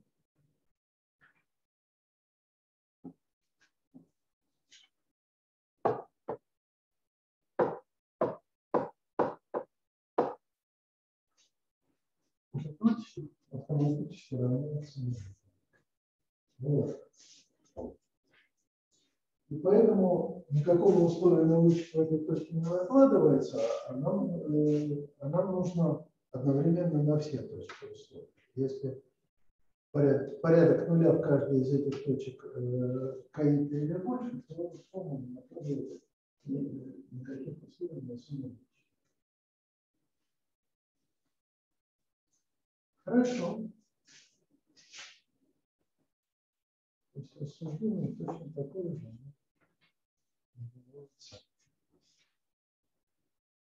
Э, Значит, размерность пространства гиперэллиптических функций на кривых рода G равна 2G плюс 2. Почему это так?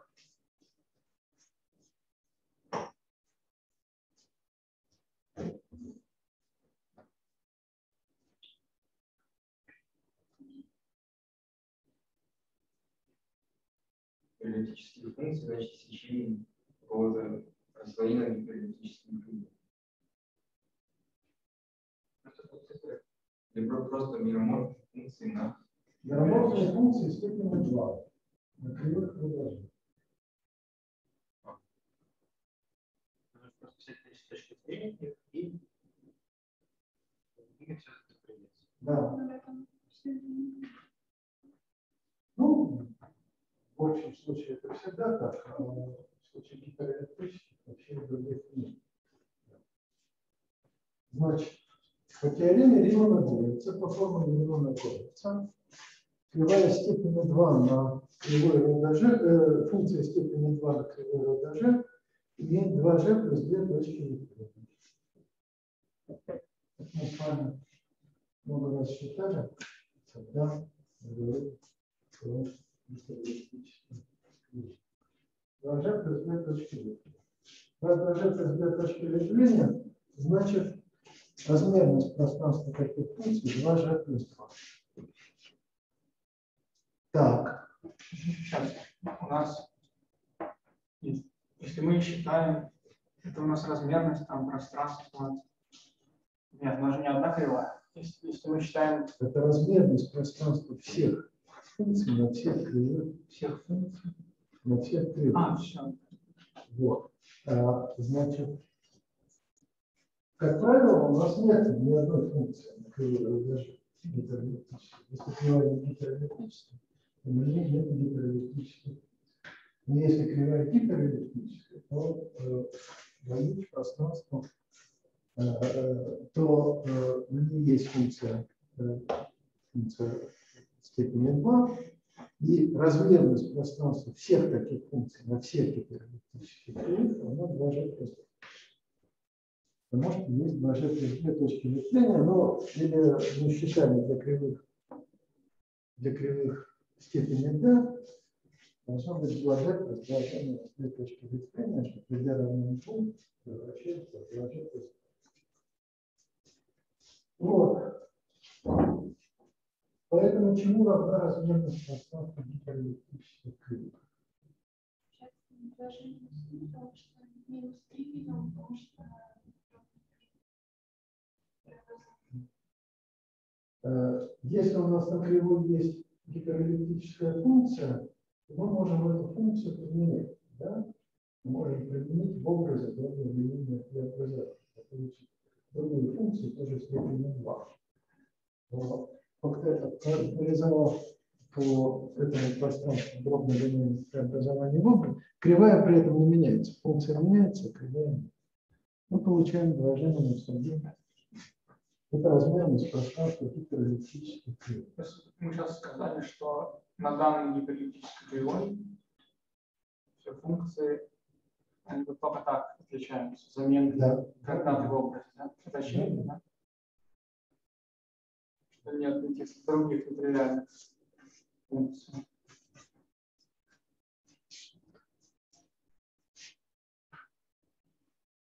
Минус можно сказать, что давайте конкретным образом представим нашу кривую. Потому мы там что-то знаем про Кривая точки и. Нет, в этом если есть какая-то. Да. С точки до... Да. Нет, понятно. Нет, но Ну, если у нас, сколько? Ну, три. Почему три? ну, потому что если у нас есть э, выражение из две точки ветвления, да, есть какой-то какой-то набор монодромей, а набор монодромей точно ветвления определяется однозначно. И функции. Сейчас нет. Это, это понятно. Смотришь, сфера с отмеченными точками. И есть лишь нет Нет, сейчас то, то, что мы вычитаем, это размерность пространства функции на одной кривой, правильно? Вот. И Чтобы получить из, из размерности пространства функции на всех кривых, Да. пространство кривых, нужно вычесть размерность функции на одной Да. кривой. Вопрос, почему она- на одной данной кривой? Там уже ничего про мандрамин не получится. Мы мандрамин какую-то делаем, мы двигаем точки, у нас кривые разные. Если если кривые одинаковые, то э, точки ветвления можно привести Мы кривые одинаковые.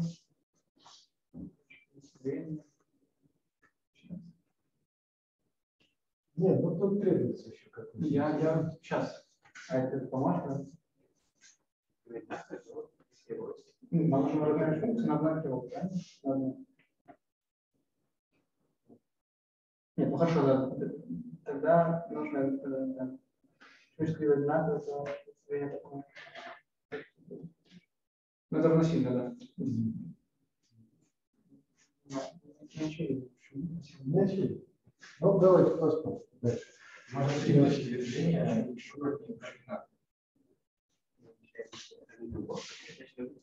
Да, но почему не может накрыть? Вот разные, ну, принцип- вдруг две принципиально разные гиперболические функции на кривой. Которые, ну, а ты хочешь доказать, что не только у тебя есть машина кривой, а ты хочешь машину накрыть. Это более сильные условия. А, Значит, на самом деле мы же видели, что если мы брали гиперэлектрическую кривую, да, мы брали гиперэлектрическую кривую. Мы даже вычисляли неявные точки Вот. Мы говорили, что если мы берем э, дивизор, состоящий из двух точек с коэффициентом единицы, лежащих в одной орбите, мы считали размерность пространства э, функций э, с этим, с этим дивизором плюс, да, и она была двойка. А если мы берем две точки, не лежащие в одной орбите, то это единичка. Что? Реакцию как раз все следует. Отсюда все следует. Отсюда все следует.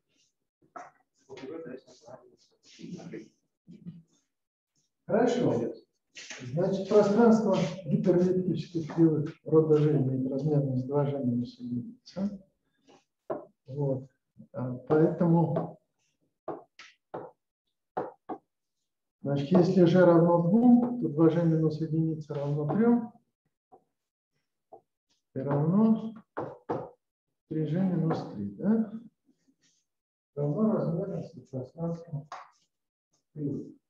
Это прекрасно согласуется с нашим утверждением. Всякая кривая равноплан является гиперболической.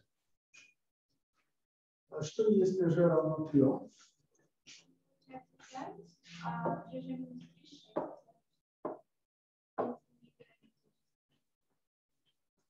Значит, гиперэллиптические кривые образуют какой-то гиперполет. Размерности 1 пространство кривых равно.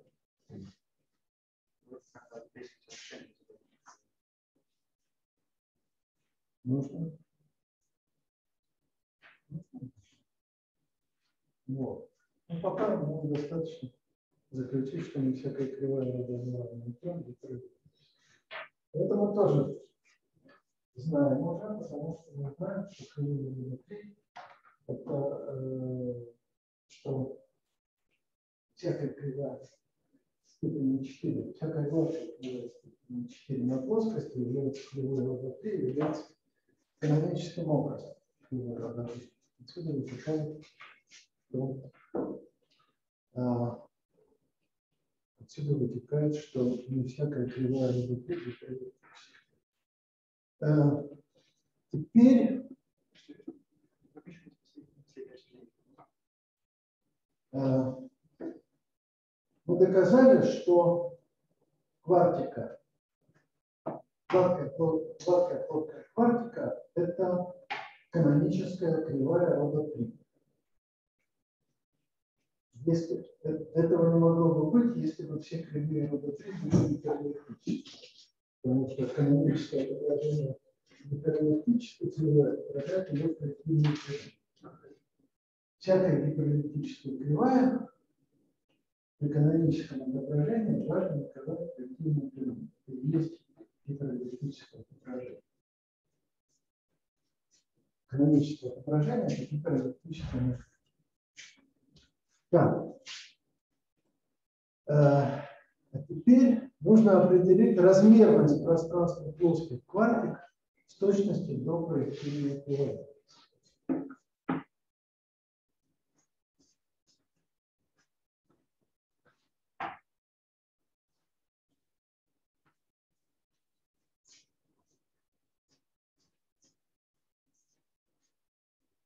Вообще, какова размерность пространства плоских квантик?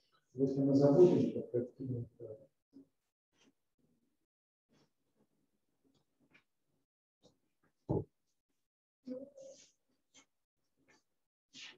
Yine bak.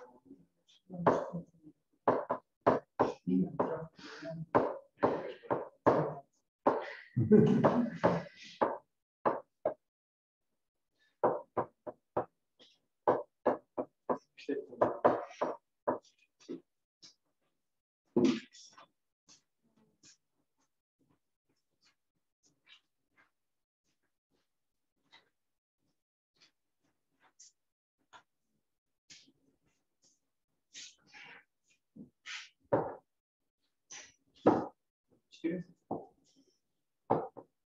Сколько?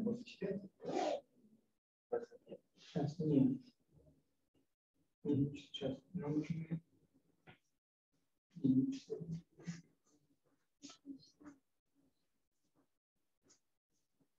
Пятнадцать. Нет, ну минус единичку. 15. 15, да. Ну как? У нас есть четыре палочки, два кружочка, да?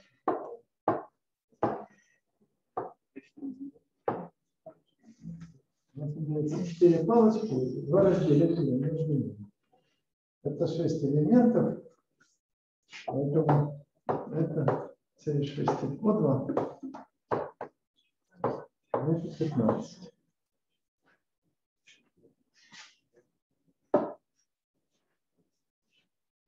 Это 15. Но то есть, э, это размерность пространства формы степени 4, однородных форм степени 4, и при активизации получаем 14.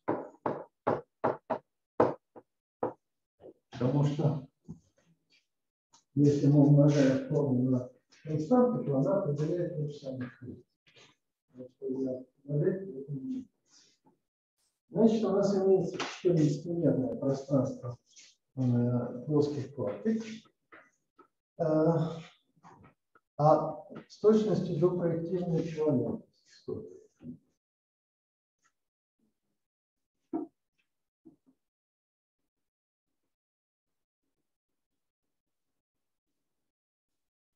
Значит, мы делаем проективное преобразование плоскости. Проективной плоскости. Такое проективное преобразование приводит, естественно, к живой степени 4, к живой степени 4.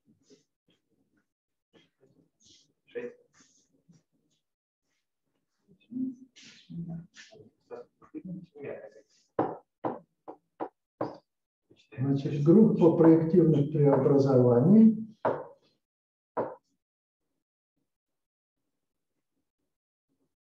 преобразование имеет какую размерность? Размерность. Размерность. 9 минус 1, то есть 8. Значит, это матрица 3 на 3, квадратная матрица 3 на 3. Опять-таки рассматриваем источник умножения на нулевую конструкцию. Ну, конечно, они должны быть не выражены, но на размер их не будет. Не выраженные элементы матрицы, они тоже размерны, что просто Значит, с точностью до проективных преобразований э, с точностью до проективной эквивалентности размерность пространства плоских квартик есть 14 минус 8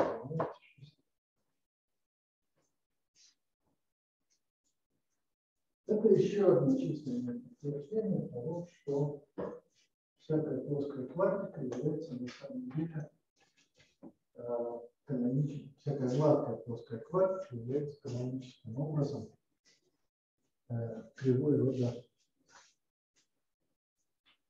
3. Это вот совпадение вот этого числа и этого числа. Пространство кривой рода 3 числомерно экономическим отображением кривая родотретия гладкая плоская, не гипереллиптическая кривая родотретия гладкую плоскую квартику и э, пространство проективной определяемой с точностью до проективной эквивалентности, потому что э, экономическое отображение определяется тем, как мы выбрали базис пространства поломорфных трехмерное пространство главных форм. Вот, замена базиса – это проективное преобразование и плоскости и, соответственно, э, проективная эквивалентность двух квартик. Вот, так что здесь все замечательно. Ну, а, а в целом факт неверный про то, что если есть две кривые вложенные там в ЦП и они то они проективны. Верно.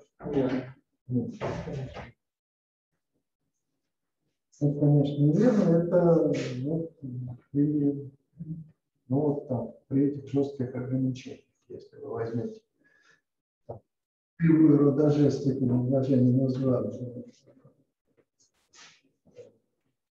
вот я не было с одномерным проектированием пространства, то вот там это будет цвет. Не лежащий ни в одной точке плоскости. Наверное, если дивизион сейчас понимаю. Мы доказали, что дивизор гиперплоского сечения будет канонически. Это мы доказали.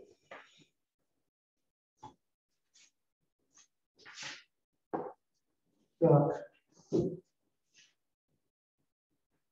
С помощью подсчета размерности докажите, что не всякая кривая ровно 10 реализуется как гладкая плоская кривая.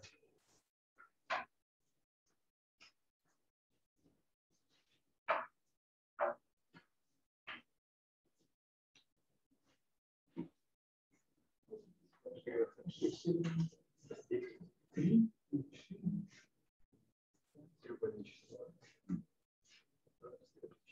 Степень 4 дает кривую ровно 3. Значит, нам нужна степень 5.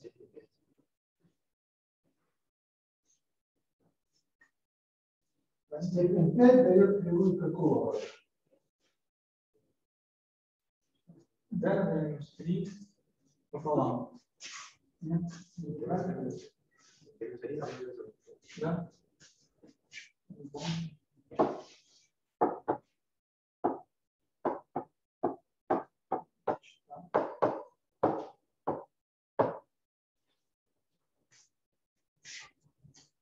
Шесть. Шесть. Тоже Значит, нужно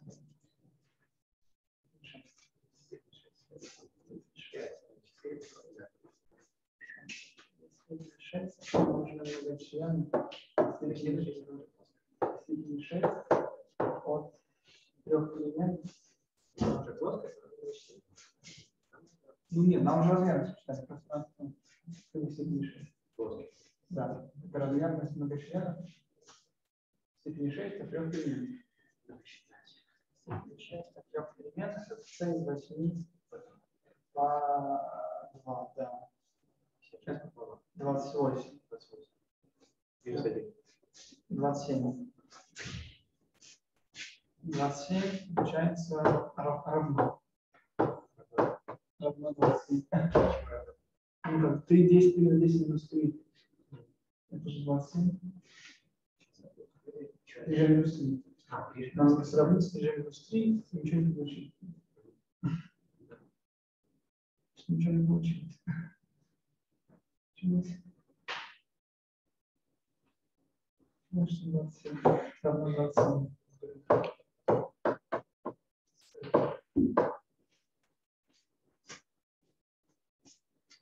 Значит, у нас имеется 27-мерное пространство плоских секций. Может, там не гладкий? 27-мерное пространство плоских секций. И Каждая плоская секция, как гладкая, является кривой рода 10. А пространство кривых рода 10, оно у нас имеет размерность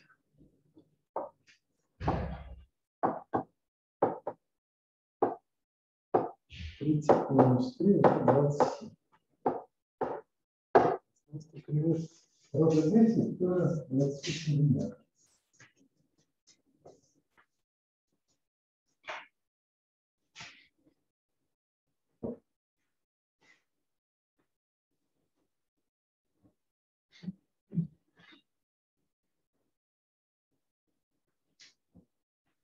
То есть мы там еще факторизовали какие-то проекты? Ну, конечно. Логично. Проективно эквивалентные кривые заведомо беговозможны друг другу.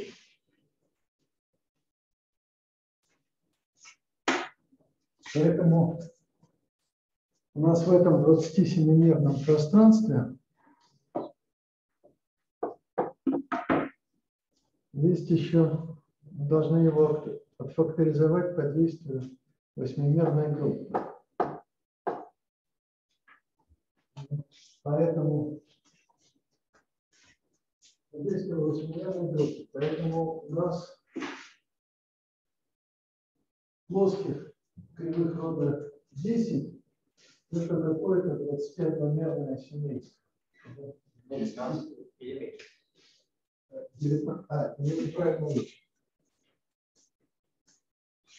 Я неправильно учу.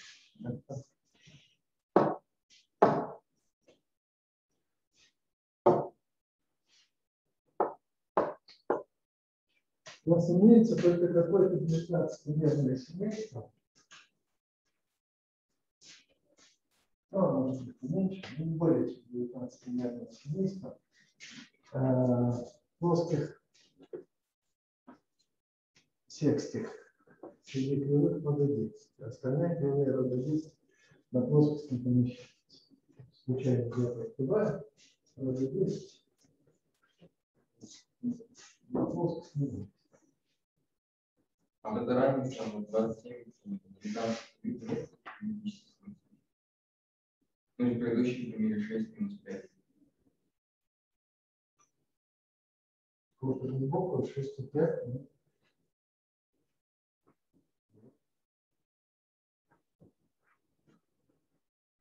Как тоже разграничить А, в смысле...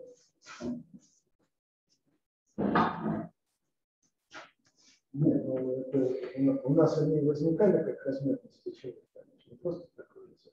Эта разность, ну, у, у, у, там, у слагаемых знаем смысл. В разности понятно особого смысла. Нет, ну, понятно, что когда э, люди изучают какие, э, какие-то свойства кривых внутри, то они имеют в виду, что гипотетически сегодня образует гиперполярность. Можно гиперполярность феноменального многообразия, но и это всегда держится в голове и часто, часто работает и. Но как ничего более специфического я не знаю.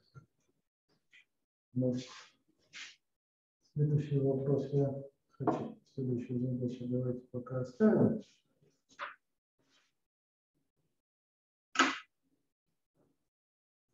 Значит, это задача про кривые рода 4. Кривые рода 3. По кривые рода 3 мы довольно много чего выяснили. Мы выяснили, что каждая кривая рода 3 либо является гиперэллиптической, либо является, либо ее, э, либо ее э, каноническое отображение это кривая э, степени 4 это плоская кривая степени 4. А, а это задача про кривые рода 4. Значит,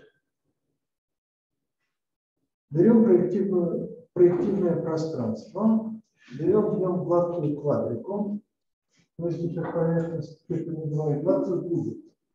Интерполярность степени Положено, что они пересекаются трансверсально. Тогда утверждается, что их пересечение является кривой ВВ4.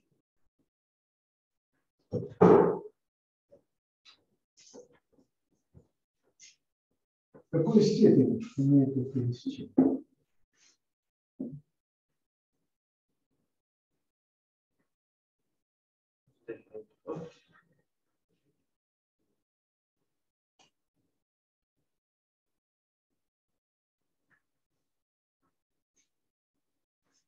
какую степень имеет пересечение пары и куб? Шесть. Шесть. Наверное, безумно называется. Я обсуждаю не только на плоскости, но и для гиперполярностей разных пространств. Степень равна 6.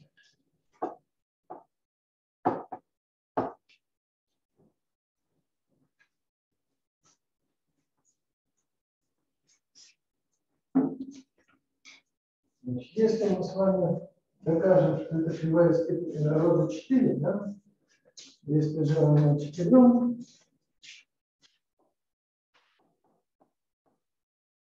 это равно 2 g минус 2. Да? А CP3, это тройка, это будет g минус 1. То есть мы попадаем как раз в ситуацию проблемы, когда нас кривая рода g, CP минус 1 имеет степень 2 g минус 2.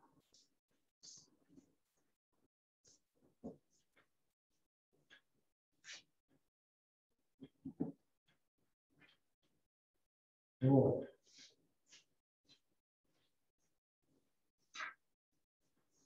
Теперь как посчитать минус? Привести.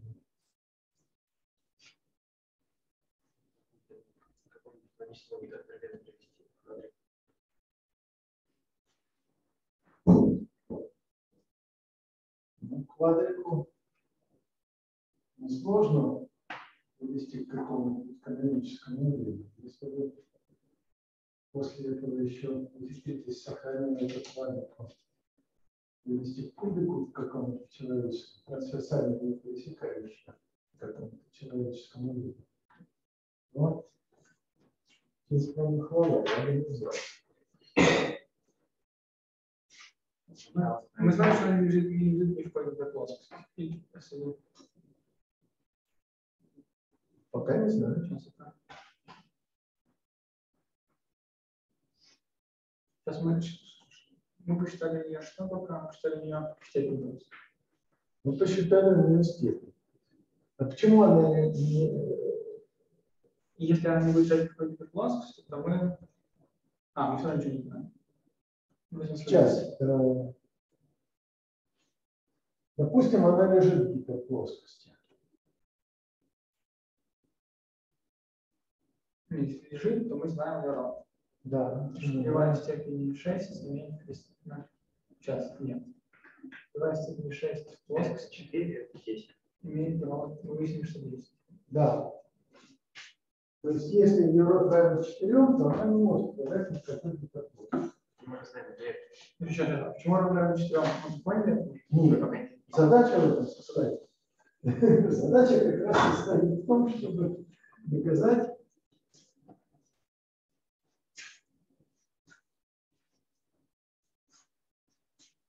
Задача состоит в том, чтобы доказать, что кривая имеет род четыре.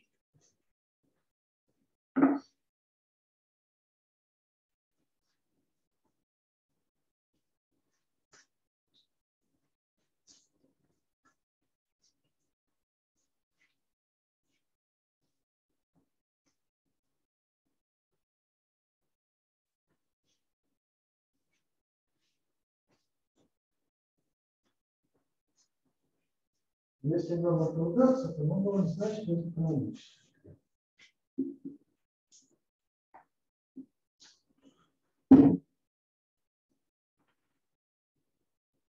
То есть, а нам достаточно для каких-то двух пар доказать, что оно 4, или и сразу для всех получится? Или это не очень?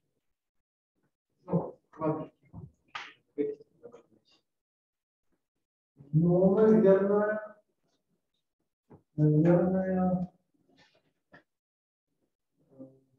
ну, если нет, пересечение трансверсальное, это условие открытое, да?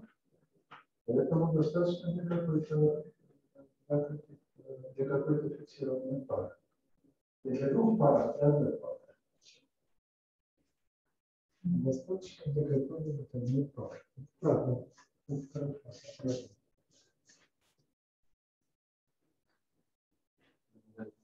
бонус почти два. Нет. Что под конусом? Конус не главный. Смотри, сыграть. А, бонус на пять, да. Что? Тысяча квадрат. Их квадрат, если квадрат, то это квадрат.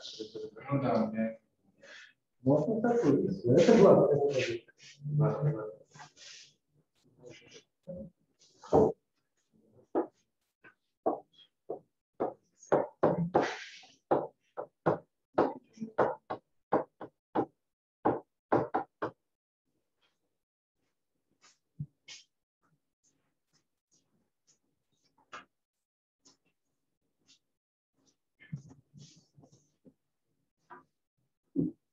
Помните, мы в какой-то момент доказывали, что пересечение двух квадрик,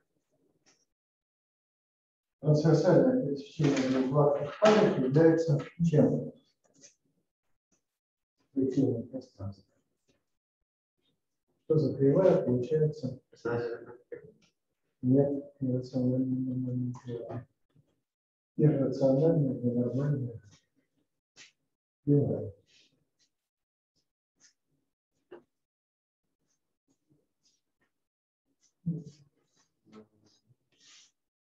Кривая вода да.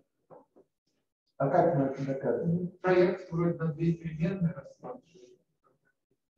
Мы рассматривали проекцию, да, как проекция оказывалась, проекция кривой пересечения на э, проективную прямую. Эта проекция оказывалась, оказывалось, что проекция имеет степень 2 и имеет 4 точки ветвления. 4 точки ветвления. А, Это были, значит, мы пересекали, мы пересекали нашу а, кривую гиперплоскостью, на этой гиперплоскости э, две наши квадрики пересекали две коники, которые пересекали четырем точкам. Две коники пересекались четырем точкам. Эти четыре точки пересечения были точками ветвления. Соответственно, это, этих данных уже хватало для того, чтобы вычислить род его.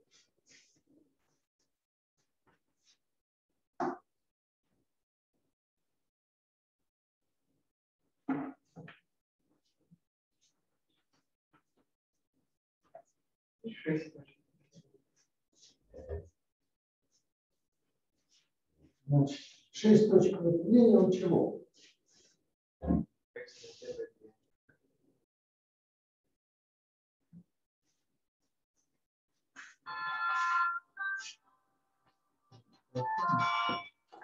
Подобная ситуация,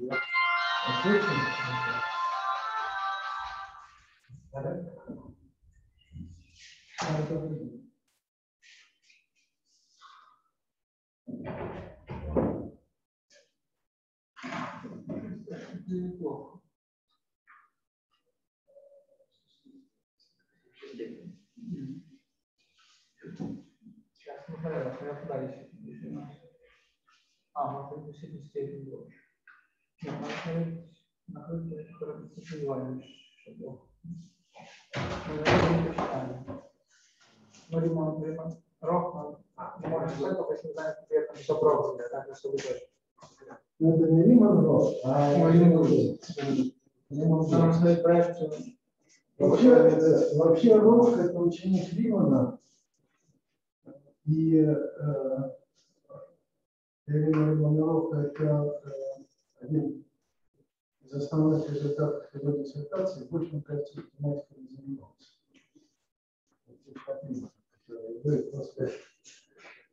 Вот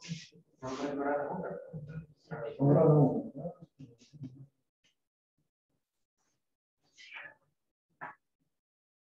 Хорошо, значит,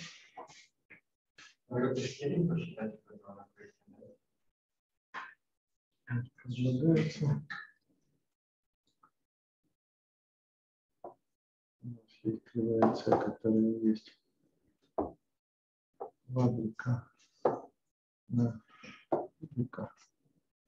Да? Есть ее. Кубик К здесь означает кубик. он ничего. Q2 на Q3 на картинке.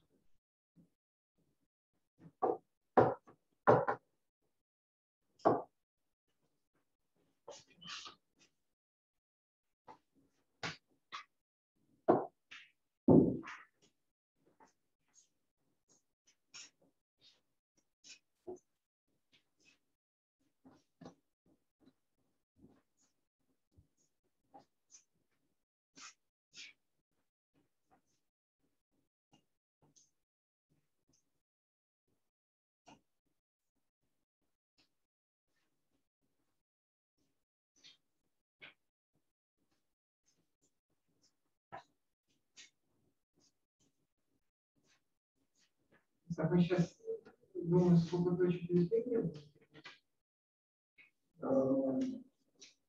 У нас интересуют разные вещи. Нас интересует, например, какова будет степень. Степень, ну, степень число точек пересечения с, прямой. Ну, с прямой, э, С прямой степень 6. с прямой, ну, да, точек пересечения.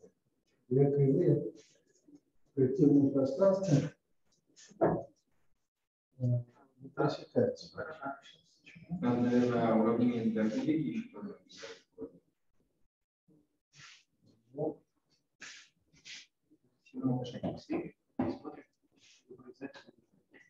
А, ну с плоскостью, да, да, не с прямой, а с плоскостью, это и 6, да? И 6. на плотность пересекается Просто перешейте, да, на 6. Нет, то есть умножить если не 6 будет, да? Мы как, как мы что посчитаем, потому что мы не знаем, сколько будет перейти Если будет квадратов, то пересечение Ну, непонятно. Мне кажется, 6 сейчас. Ну, не 6.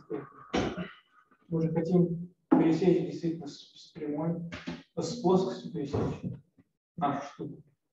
Собственно, просто подать точку С, пересечь плоскость. Плоскость у нас, по идее, 6 точек пересечения. Плоскостью 6 точек пересечения, да. Значит, отображение степени 6. Сейчас, ну, с двумя квадриками было 2, да? Мне, мне кажется. 4. 4. Хорошо, нормально. Нет, ну, так теперь, видимо, нужно считать, что все точки зрения они у нас самые, самые не особые, которые только, могут быть. Не, нет, главное, нет, если мы считаем, что они все, все имеют, ну, короче, них всех транс- транспозиция. Просто Сколько это?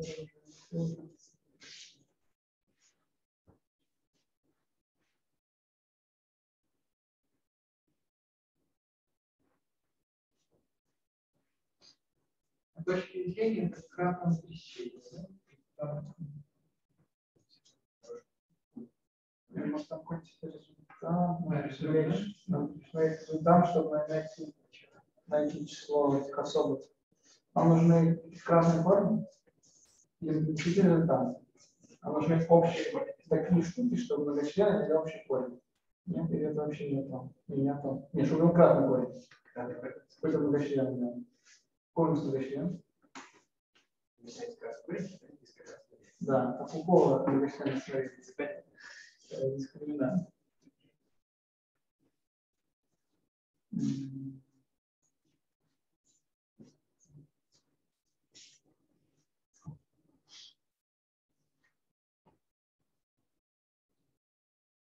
А может быть многочлена выразить? Многочлена позади нулевой выразить те точки, где происходит. Происходит. Давай, давай, давай, сейчас. Сейчас, а, сейчас, если посмотрим на нас интересуют точки, где кратность нуля больше единицы. Что перемножить? Два многочлена. Два Ну, многочлена. кратность точки пересечения, это не правда, что ну. Ну, У нас точка, э, у нас пересечение трансверсальное. Предположение. То есть кратность пересечения везде э, минимально важна. Кратность пересечения не единица. Мы берем эту плоскость. На ней есть степени 3 и степени 2. И мы ищем общий корень. Интересуемся, когда они имеют кратность. Как понять, что у нас кратность? Два многочлена имеют кратность. Не 6, Да, вот. 6 точек. Да. Как это понять, что за многочлена? У нас вообще три плоскости. Два многочлена.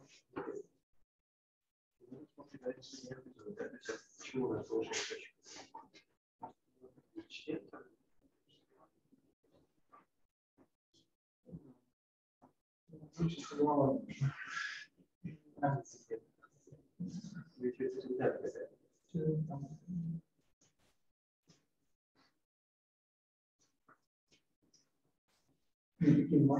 было 6 точек? Член,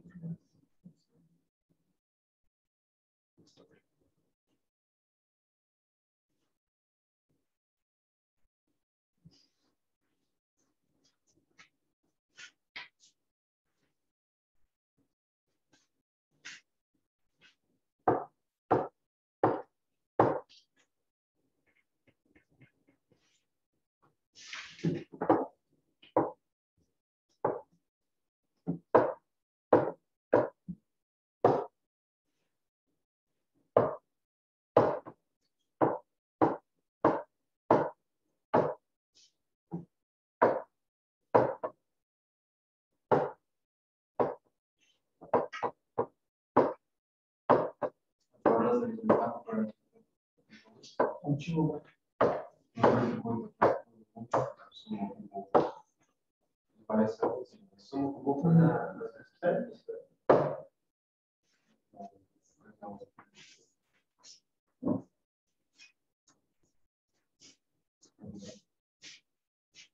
Я вам написал просто, чтобы перед глазами стояло, чтобы воспринимать.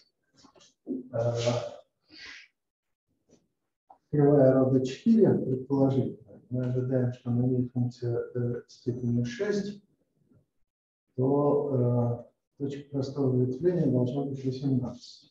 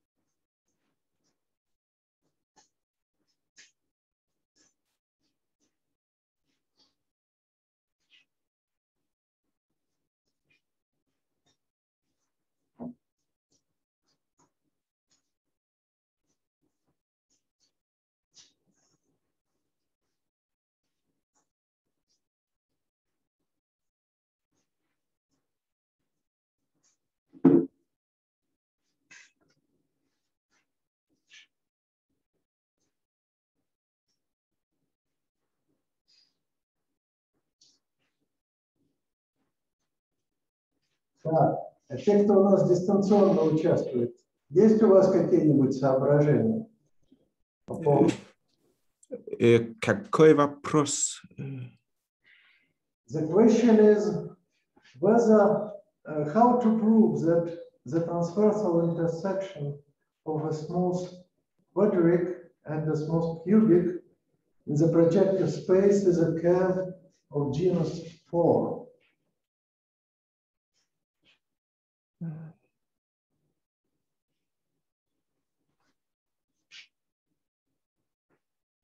э, э, В счет трансверсального пересечения? А, Transversal intersection, yeah. We take two surfaces, two pattern surfaces in the projective space and suppose the intersection is transversal.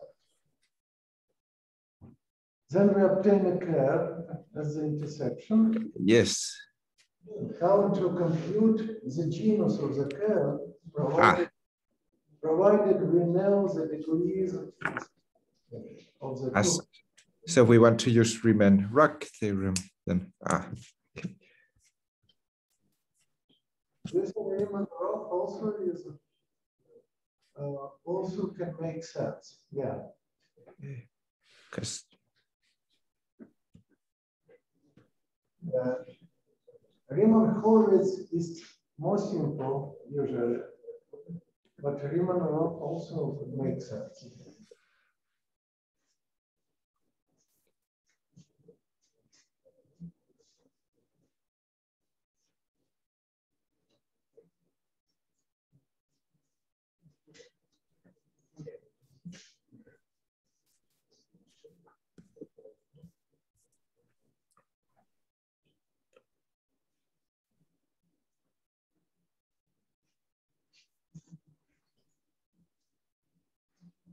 Mm -hmm.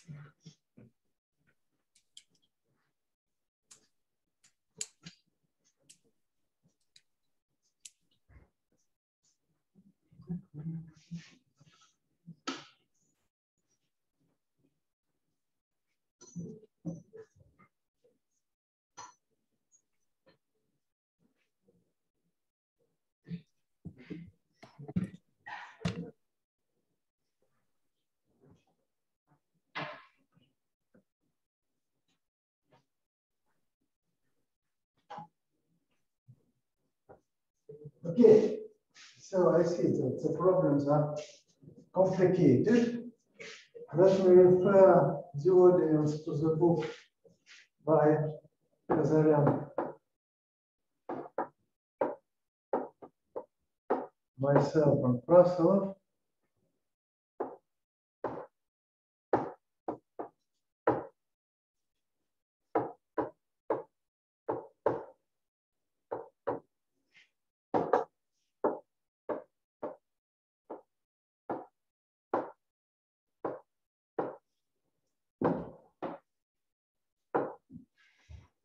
Графические кривые по направлению пространства модулей.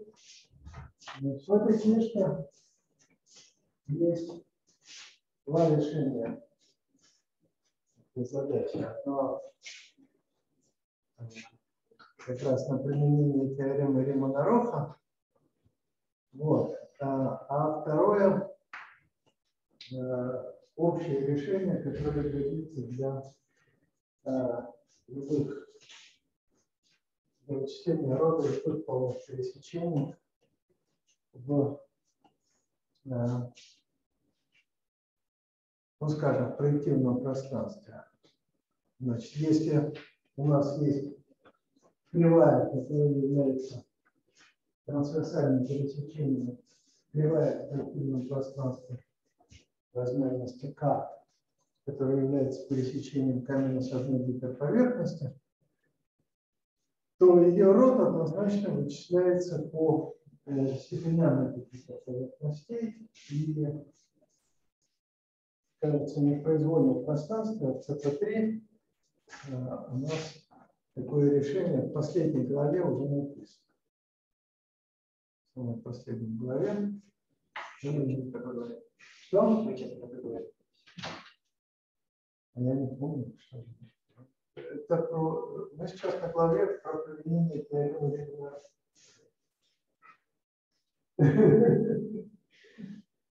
Вот. А, э, а последняя глава в книжке это как посмотреть на э, все предыдущее со стороны теории характеристических классов и, и да, здесь, здесь можно посчитать, наверное, нормально. С помощью степеней можно посчитать нормальный класс черт нормального расслоения, а через него касательно. Да, да, да. Да, тогда, тогда, тогда можно даже любой ЦП, наверное. Да. Ну, полное пересечение. Да, полное пересечение. Далеко не всякая кривая. Далеко не всякая кривая является полным пересечением. Далеко не всякая кривая является полным пересечением типов поверхностей. Поэтому это... А как, а как выходит, Что? а как в этом этим приемом использовать то, что не гибкая? Значит, все по нему касательно Значит, в результате, посчитав род кривой, мы докажем, что она, мы докажем, что э, эта кривая рода 4 в трехмерном проективном пространстве, имеющая степень 6, то есть 2g минус 2. Отсюда будет следовать, если при этом она не лежит никакой гиперплоскости, а мы уже доказали, что она не может лежать в гиперплоскости, и не просто Правда? Потому что если она лежит в какой-то гиперплоскости, то ее степень равна 6, значит ее род равна 10. Вот на самом деле равен 4. Поэтому из той леммы, которая была доказана, можно доказать, что это нормально, что это каноническая кривая. Раз это каноническая кривая, значит она не, э, значит она не гиперэлектрическая. Потому что если бы кривая была гиперэлектрическая, то ее канонический образ это Гиперболический кривой. такой. Вот. Ну, а эти гладкие квадрики, э, если дальше, если мы берем произвольную кривую воду 4, не гиперэллиптическую, берем ее каноническое вложение, вот это вложение, как раз такая кривая, и э, для такой кривой можно